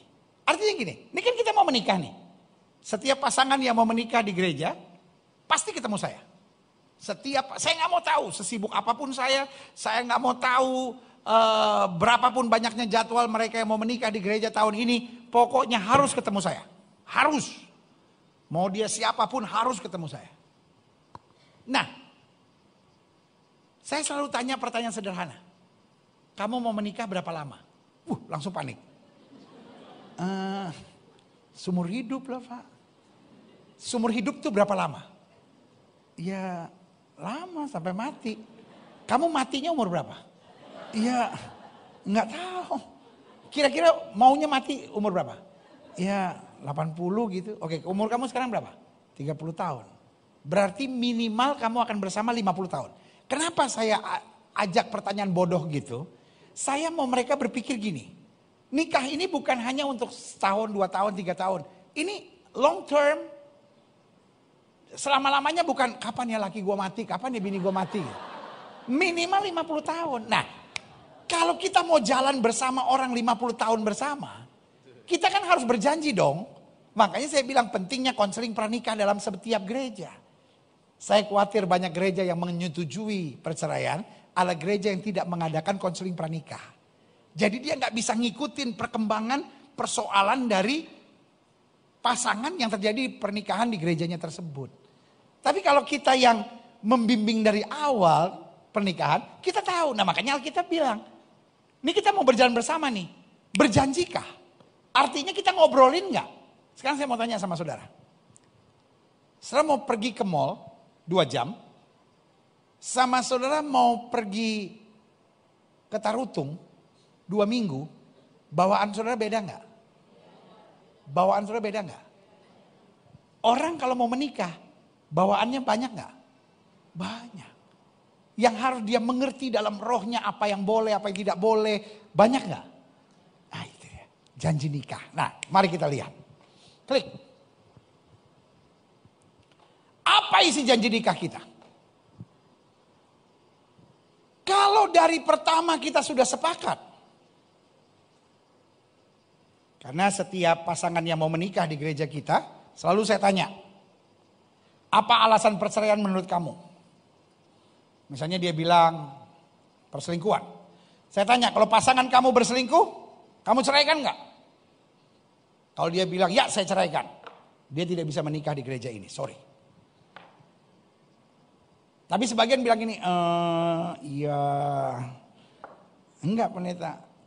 Saya bilang, saya setuju. Enggak, tapi jangan sampai. Iya pendeta setuju, setuju, setuju. Enggak biasa. Amit, amit, amit, amit, amit, amit. Nah karena itu mari kita persiapkan. Karena orang nggak mungkin selingkuh itu lagi iseng-iseng. Ah selingkuh ah gitu. Pasti ada prosesnya saudara-saudara. Pasti ada prosesnya.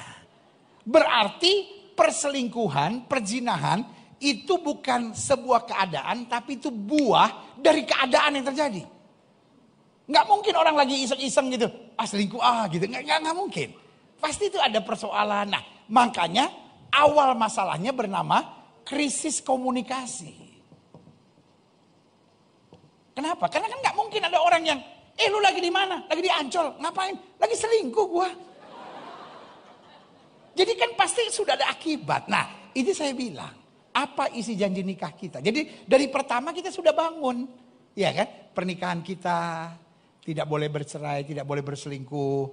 Mari kita begini, begini, begini. Nah, kita udah atur nih semuanya. Nah, sekarang saya mau tanya sama saudara.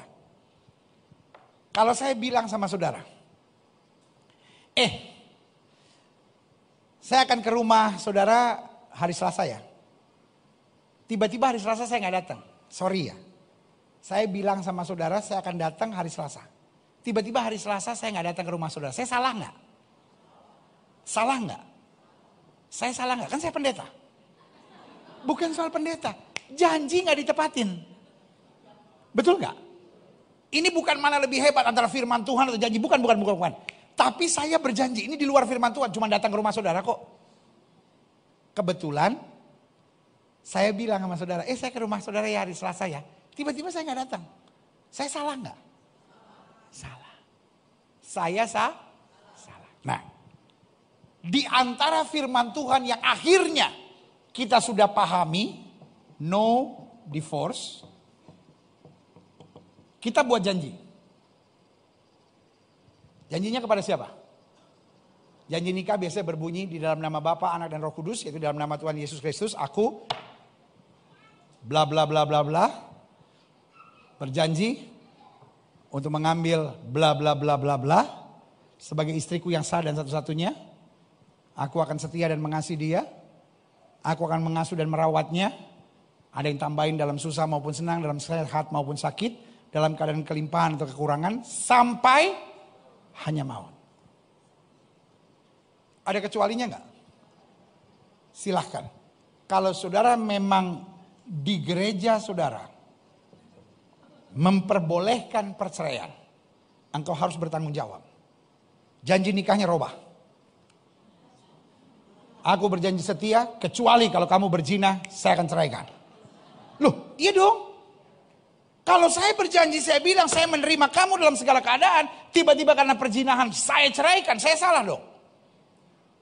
Saya salah karena saya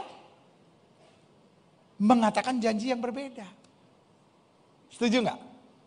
Kalau saya bilang saya menerima engkau dalam segala keadaan, artinya dalam segala yang saya maksudkan adalah janji tetap janji.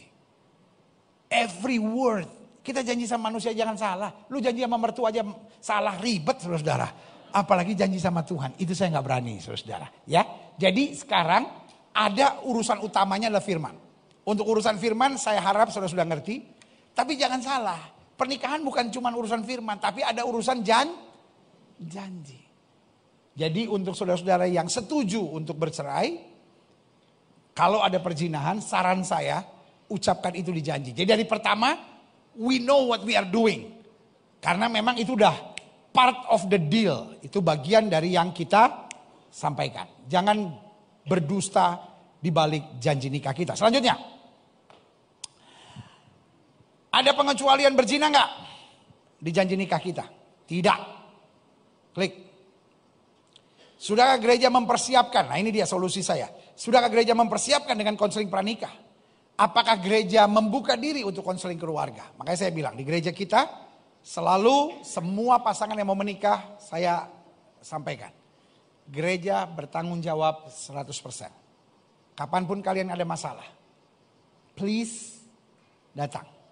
Saya berkali-kali bilang, kamu kalau ada masalah siap datang, kamu ada masalah siap datang, kamu ada masalah siap datang, kalau kamu gak siap datang, percuma kita memberkati kamu. Karena saya tahu dalam pernikahan pasti ada masalah. And we are here. Jangan mikir, wah kita nyusahin gereja. Enggak. saya lebih susah kalau saya nggak tahu apa-apa kamu orang menderita. Please come back. Dan puji Tuhan, banyak masalah rumah tangga yang anak-anak yang kita berkati bisa kita selesaikan dengan cara datang ke gereja lalu kita selesaikan bersama. Puji Tuhan. Selanjutnya klik. Aha. Pertanyaan selanjutnya. Bukan soal boleh atau tidak boleh. Toh kita sudah sepakat. Kita sepakat dulu sama. Yaitu buat orang-orang yang setuju boleh cerai. Ya kan? Bilang apa? Boleh tapi tidak harus. Nah berarti ada satu kunci yang harus kita sepakati bersama. Dalam kata tidak harus ini, ya kan? Boleh cerai tapi tidak harus. Nah, dalam kata tidak harus ini, apa yang harus kita berikan? Yaitu pengampunan. Kenapa? Tadi sudah saya jelaskan. Karena apa yang kamu tidak ingin orang lain perbuat kepadamu, jangan perbuat itu kepada orang lain. Tetapi sebaliknya, apa yang kamu ingin orang lain perbuat kepadamu, perbuatlah itu juga kepada orang lain. Jelas? Iya kan? Jadi pertanyaannya apakah ada pengampunan? Kalau rumah tangga bermasalah, saya percaya perceraian bikin semuanya tambah rumit. Pengampunan itu sakit. Karena pengampunan bicara tentang gengsi. Kenapa yang disorot hanya seorang laki-laki boleh menceraikan istrinya kecuali karena zina? Karena suami gengsinya besar. Banyak sekali yang suami berselingkuh istrinya ampuni. Tapi kalau istri berzina, suami itu merasa harga dirinya diinjak-injak, betul nggak? Gereja bukan berarti memperbolehkan perzinahan. Tetapi gereja hanya menyadarkan setiap orang. Perzinahan hukumnya sadis di hadapan Tuhan. Karena perzinahan itu kutuknya bisa menurun. Tetapi tetap solusinya bukan perceraian, solusinya adalah pengampunan. Seperti wanita tadi. Coba lihat, klik. Matius 18 ayat 21 sampai 22. Kemudian datanglah Petrus dan berkata kepada Yesus, Tuhan, sampai berapa kali aku harus mengampuni saudaraku jika ia berbuat dosa terhadap aku? Sampai tujuh kali. Orang kan biasanya cuma sampai tiga kan? Petrus bangganya bilang, sampai tujuh kali. Yesus berkata, bukan, aku berkata kepadamu bukan sampai tujuh kali. Melainkan sampai tujuh puluh, berarti empat ratus. Kalau suami sudah berselingkuh ke 491 ceraikan. DP ayat so habis. Kalau istri sudah berselingkuh ke 491 kali, ceraikan. So habis. Jatah habis. Karena jatahnya cuma sampai 400. Tapi dia udah keburu mampus duluan kali kalau dia selingkuh 490 kali. Maksud saya bukan soal jumlah. 70 kali 7 itu bicara kesempurnaan. Artinya pembalasan itu hak Tuhan, itu urusan Tuhan. Ada nggak orang yang lagi berzina di hotel mati? Ada nggak orang yang lagi berzina di hotel mati? Ada nggak orang yang habis berzina tabrakan di jalan terus mati? Banyak. Itu hak Tuhan untuk memisahkan. Amin. Itu hak Tuhan. Tugas kita adalah mengampuni. Karena pembalasan itu bukan hak kita. Barang siapa yang tidak berdosa lempar wanita wanita ini dengan batu duluan. Barang siapa yang tidak berdosa jatuhkan hukuman pada mereka yang berzina dan bersalah. Tapi barang siapa yang menyadari dirinya berdosa. Mari kita cari jalan keluar. Lihat selanjutnya, klik. Matius 6 ayat 15 bilang, tapi jikalau kamu tidak mengampuni orang, bapamu juga tidak. Ya dong. Kalau kita nggak bisa mengampuni suami atau istri kita yang berzina, maka bapak kita di sorga juga tidak bisa. Lihat selanjutnya, klik. Apakah perceraian menyelesaikan masalah? Atau menciptakan masalah baru? Ataukah justru pengampunan dan kasih? Menerima pasangan kita apa adanya. Itu yang dapat menyelesaikan masalah. Karena ingat, Tuhan yang sama yang berkata aku benci perceraian. Tuhan yang sama yang berkata bagi Allah tidak ada perkara yang mustahil. Berikan tepuk tangan yang meriah buat Tuhan. Saudara yang kasih dalam Tuhan, pembahasan saya sampai di sini karena saya tahu kemudian masih ada pembahasan selanjutnya tentang kalau uh, suami pukulin apa yang harus kita buat. kalau kita dimaki, kita direndahkan, apa yang harus kita buat. Kalau terjadi penyimpangan seksual dalam keluarga, apa yang harus kita buat. Masih ada banyak, jadi saya pikir bulan depan kita akan lanjutkan pembahasan ini. Tapi karena, ya, minta maaf karena belum koordinasi sama pengurus. Tapi kan karena saya gembala boleh dong saya bikin aturan ya. Kan? Tapi karena belum komunikasi sama pengurus, belum saya bisa beritahu tanggalnya saudara-saudara karena bulan depan uh, waktu saya juga cukup padat. Tapi buat saya ini harus karena ini penting saudara-saudara dan nilai berumah tangga hari-hari ini semakin rendah. Jadi saya mau jemaat Gereja Betel Indonesia Global Fellowship Center, saudara-saudara yang sudah tahu kebenaran tetap berpegang teguh dan menolong orang-orang di sekitar saudara supaya tetap mengabarkan ada mujizat, ada jalan keluar ada terang Tuhan, ada kuasa Tuhan yang hebat untuk pemulihan keluarga. Karena saya percaya di akhir zaman, Alkitab sudah bilang seribu boleh rebah di kirimu, sepuluh ribu boleh rebah di kananmu. Itu juga menubuatkan tentang banyak keluarga-keluarga hancur. Tetapi orang yang melakukan kehendak Allah akan tetap kuat sampai selama-lamanya. Amin. Puji Tuhan. Dan karena itu saya beri waktu untuk tanya jawab. Lalu kemudian rekan saya, saya panggil sekarang. Bapak Pendeta Dr. Joshua Tewu maju ke depan untuk memulai sesi tanya jawab sebagai moderator acara kita. Berikan tepuk tangan yang meriah buat Tuhan, haleluya. Kertas di tangan saya ini kayaknya sudah terjawab dengan sendirinya. Tapi misalkan ada hal-hal yang mungkin urgen kalau seperti ini. Misalkan kalau suami berselingkuh dengan mama kandung saya, apa yang saya lakukan? Agak ngeri juga Pak.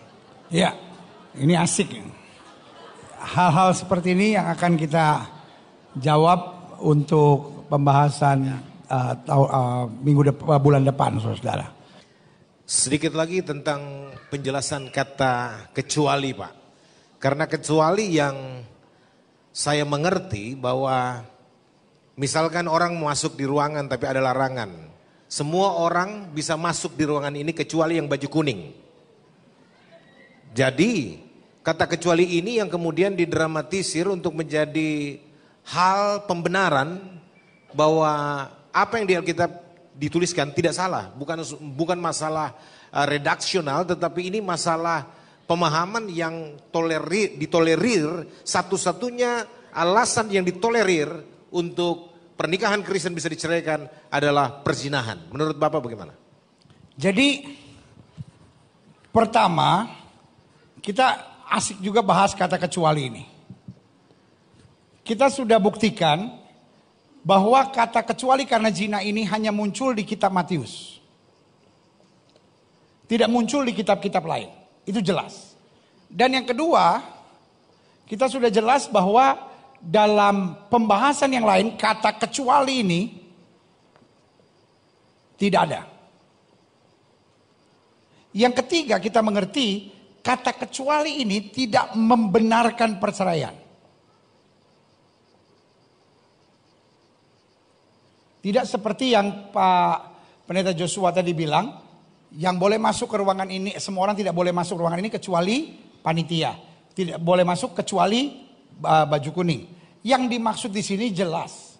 Tadi kita sudah bahas, menceraikan istrinya kecuali karena zina ia menjadikan istrinya berzina.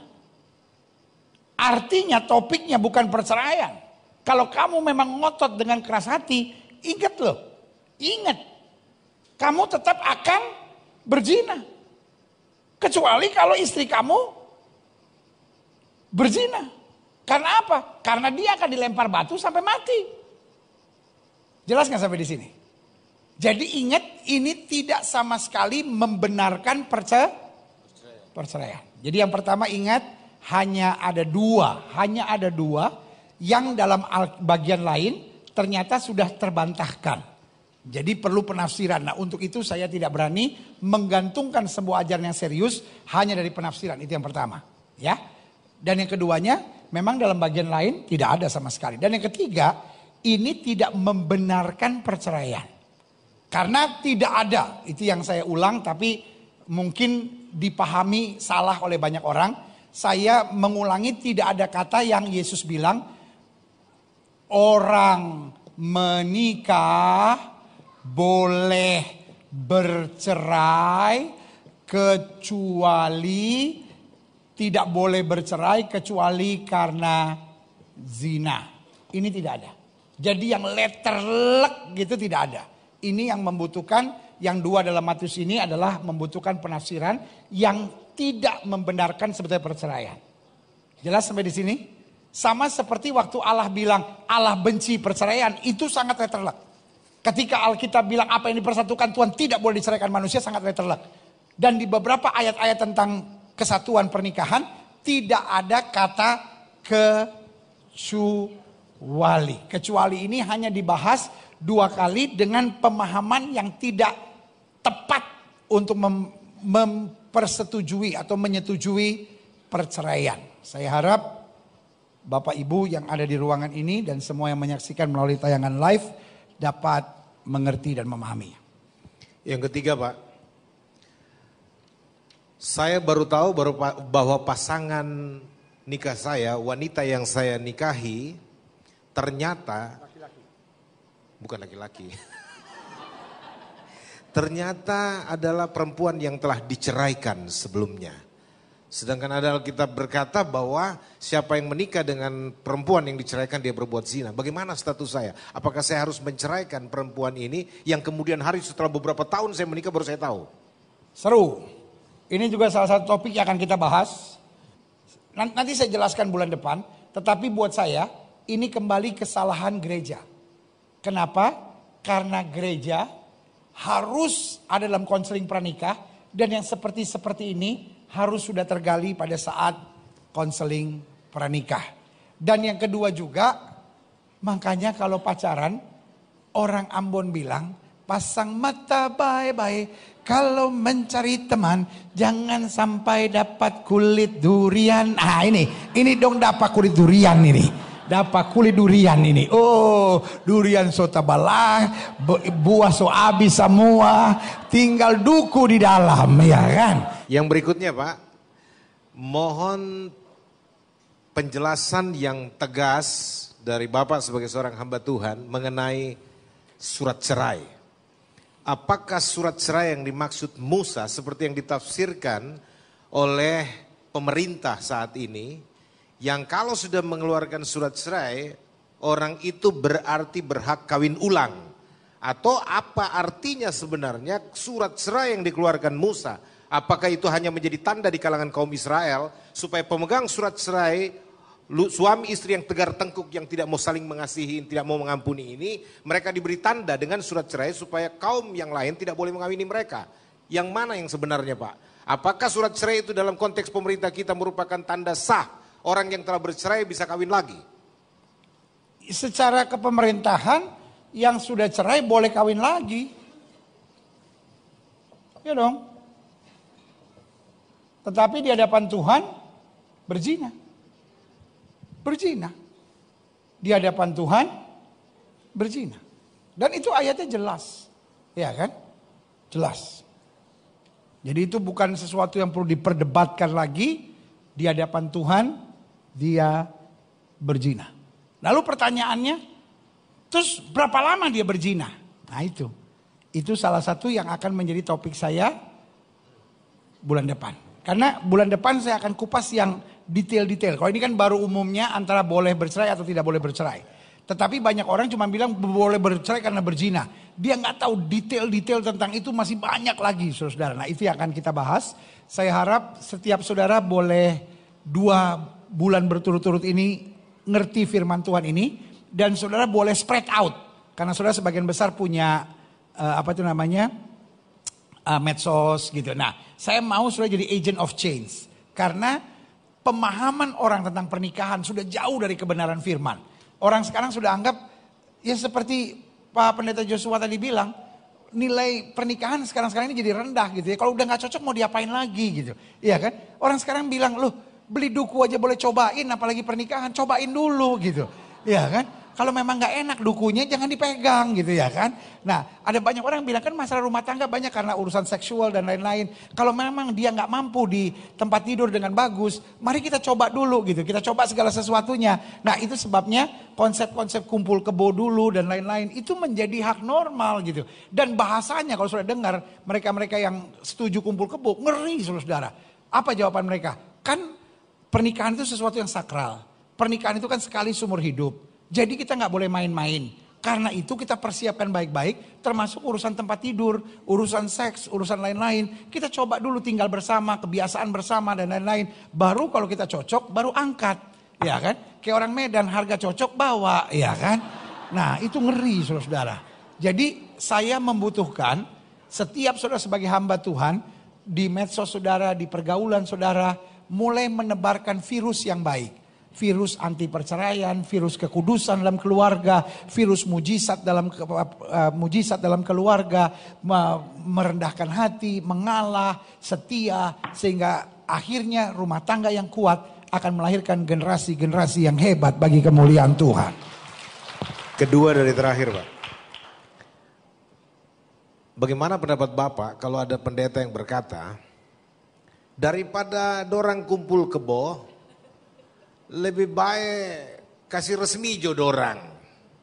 Berkati jo daripada dorang bersina dengan kumpul kebo mending berkati saja padahal itu istri orang. Nah, itu menarik karena ada banyak hal. Gereja kita uh, sebetulnya hampir tiap tahun, cuman kemarin tahun lalu nggak ada. Tapi tahun ini kita adakan lagi. Jadi hampir tiap tahun gereja kita mengadakan yang saya beri nama peneguhan nikah masal.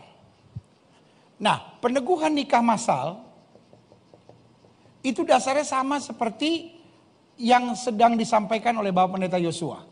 Daripada mereka kumpul kebo, lebih baik kita nikahkan. Contohnya, mereka yang dulu nikah bukan orang Kristen.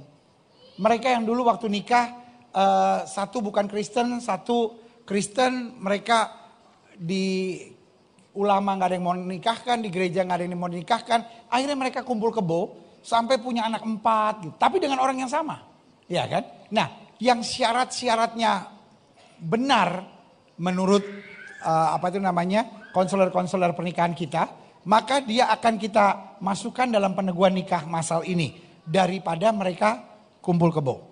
Tetapi saudaraku yang kasih dalam Tuhan, kalau cacat, misalnya memang dia istri orang, dia memang uh, lari dari lakinya, dia memang nggak jelas gitu. Nah, yang kayak begini-begini kan, misalnya kayak kebiasaan Chinese misalnya dulu, asal udah di restoran, pokoknya udah kawin gitu, ya kan? Belum ada pemberkatan nikah, belum apa. Di hadapan Tuhan itu kan sebetulnya kumpul kebo, saudara-saudara, ya kan? Nah itu ada banyak yang seperti itu. Nah syarat-syaratnya kita lihat ini kita teguhkan. Gitu. Jadi kita teguhkan pernikahan mereka. Tetapi untuk mereka-mereka yang bermasalah seperti yang disampaikan oleh Pak Pendeta Yosua tadi. Misalnya gini, oh dia memang laki orang, dia dipukulin, dia kabur dari Manado. Dia di sini akhirnya tinggal sama orang Batak berdua. Jadi Batman Batak Manado, ya kan?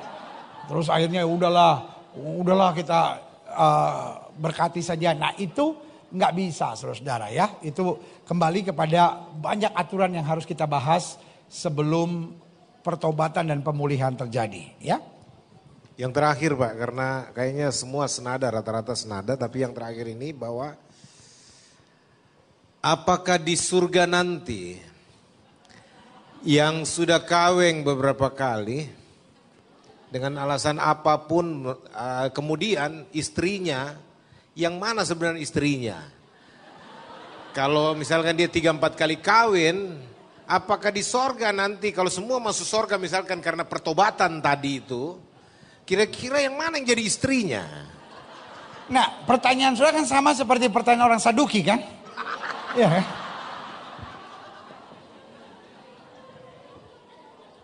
Satu, saya belum masuk surga so saya nggak tahu. Nanti kalau saya udah di surga saya kasih tahu. Yang kedua, ini sulit.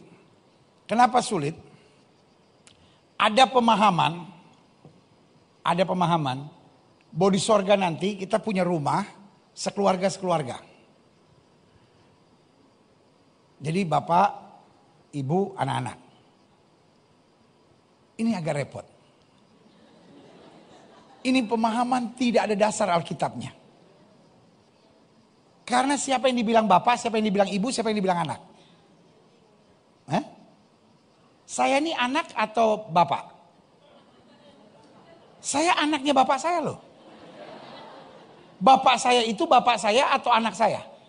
Eh, bapak saya itu bapak atau anak? Anak juga loh. Anak dari bapaknya lagi. Jadi bayangin satu rumah itu berapa gedenya tuh. Akhirnya cuman bapak yang gak punya bapak, cuman Adam. Lu iya dong. Dulu kan saya bilang saya akan tinggal suami istri, terus anak-anak. Itu sekarang udah nikah. Lah, dia nggak bersama saya dong. Nah saya bersama siapa? Bapak saya. Bapak saya sama bapaknya lagi. Jadi sorry ya, sorry ya. Buat saya pandangan itu ngaco. Kenapa ngaco? Karena nggak ada dasar. Lalu ada yang bilang, oh kita cuma suami istri, suami istri. nggak ada anak. Terus kita suami istri ngapain di sorga? Tereret jungkir balik, tereret jungkir balik. Ya. Di sorga masih ada perasaan nggak? Hah? Jadi di sorga kita udah nggak ada perasaan.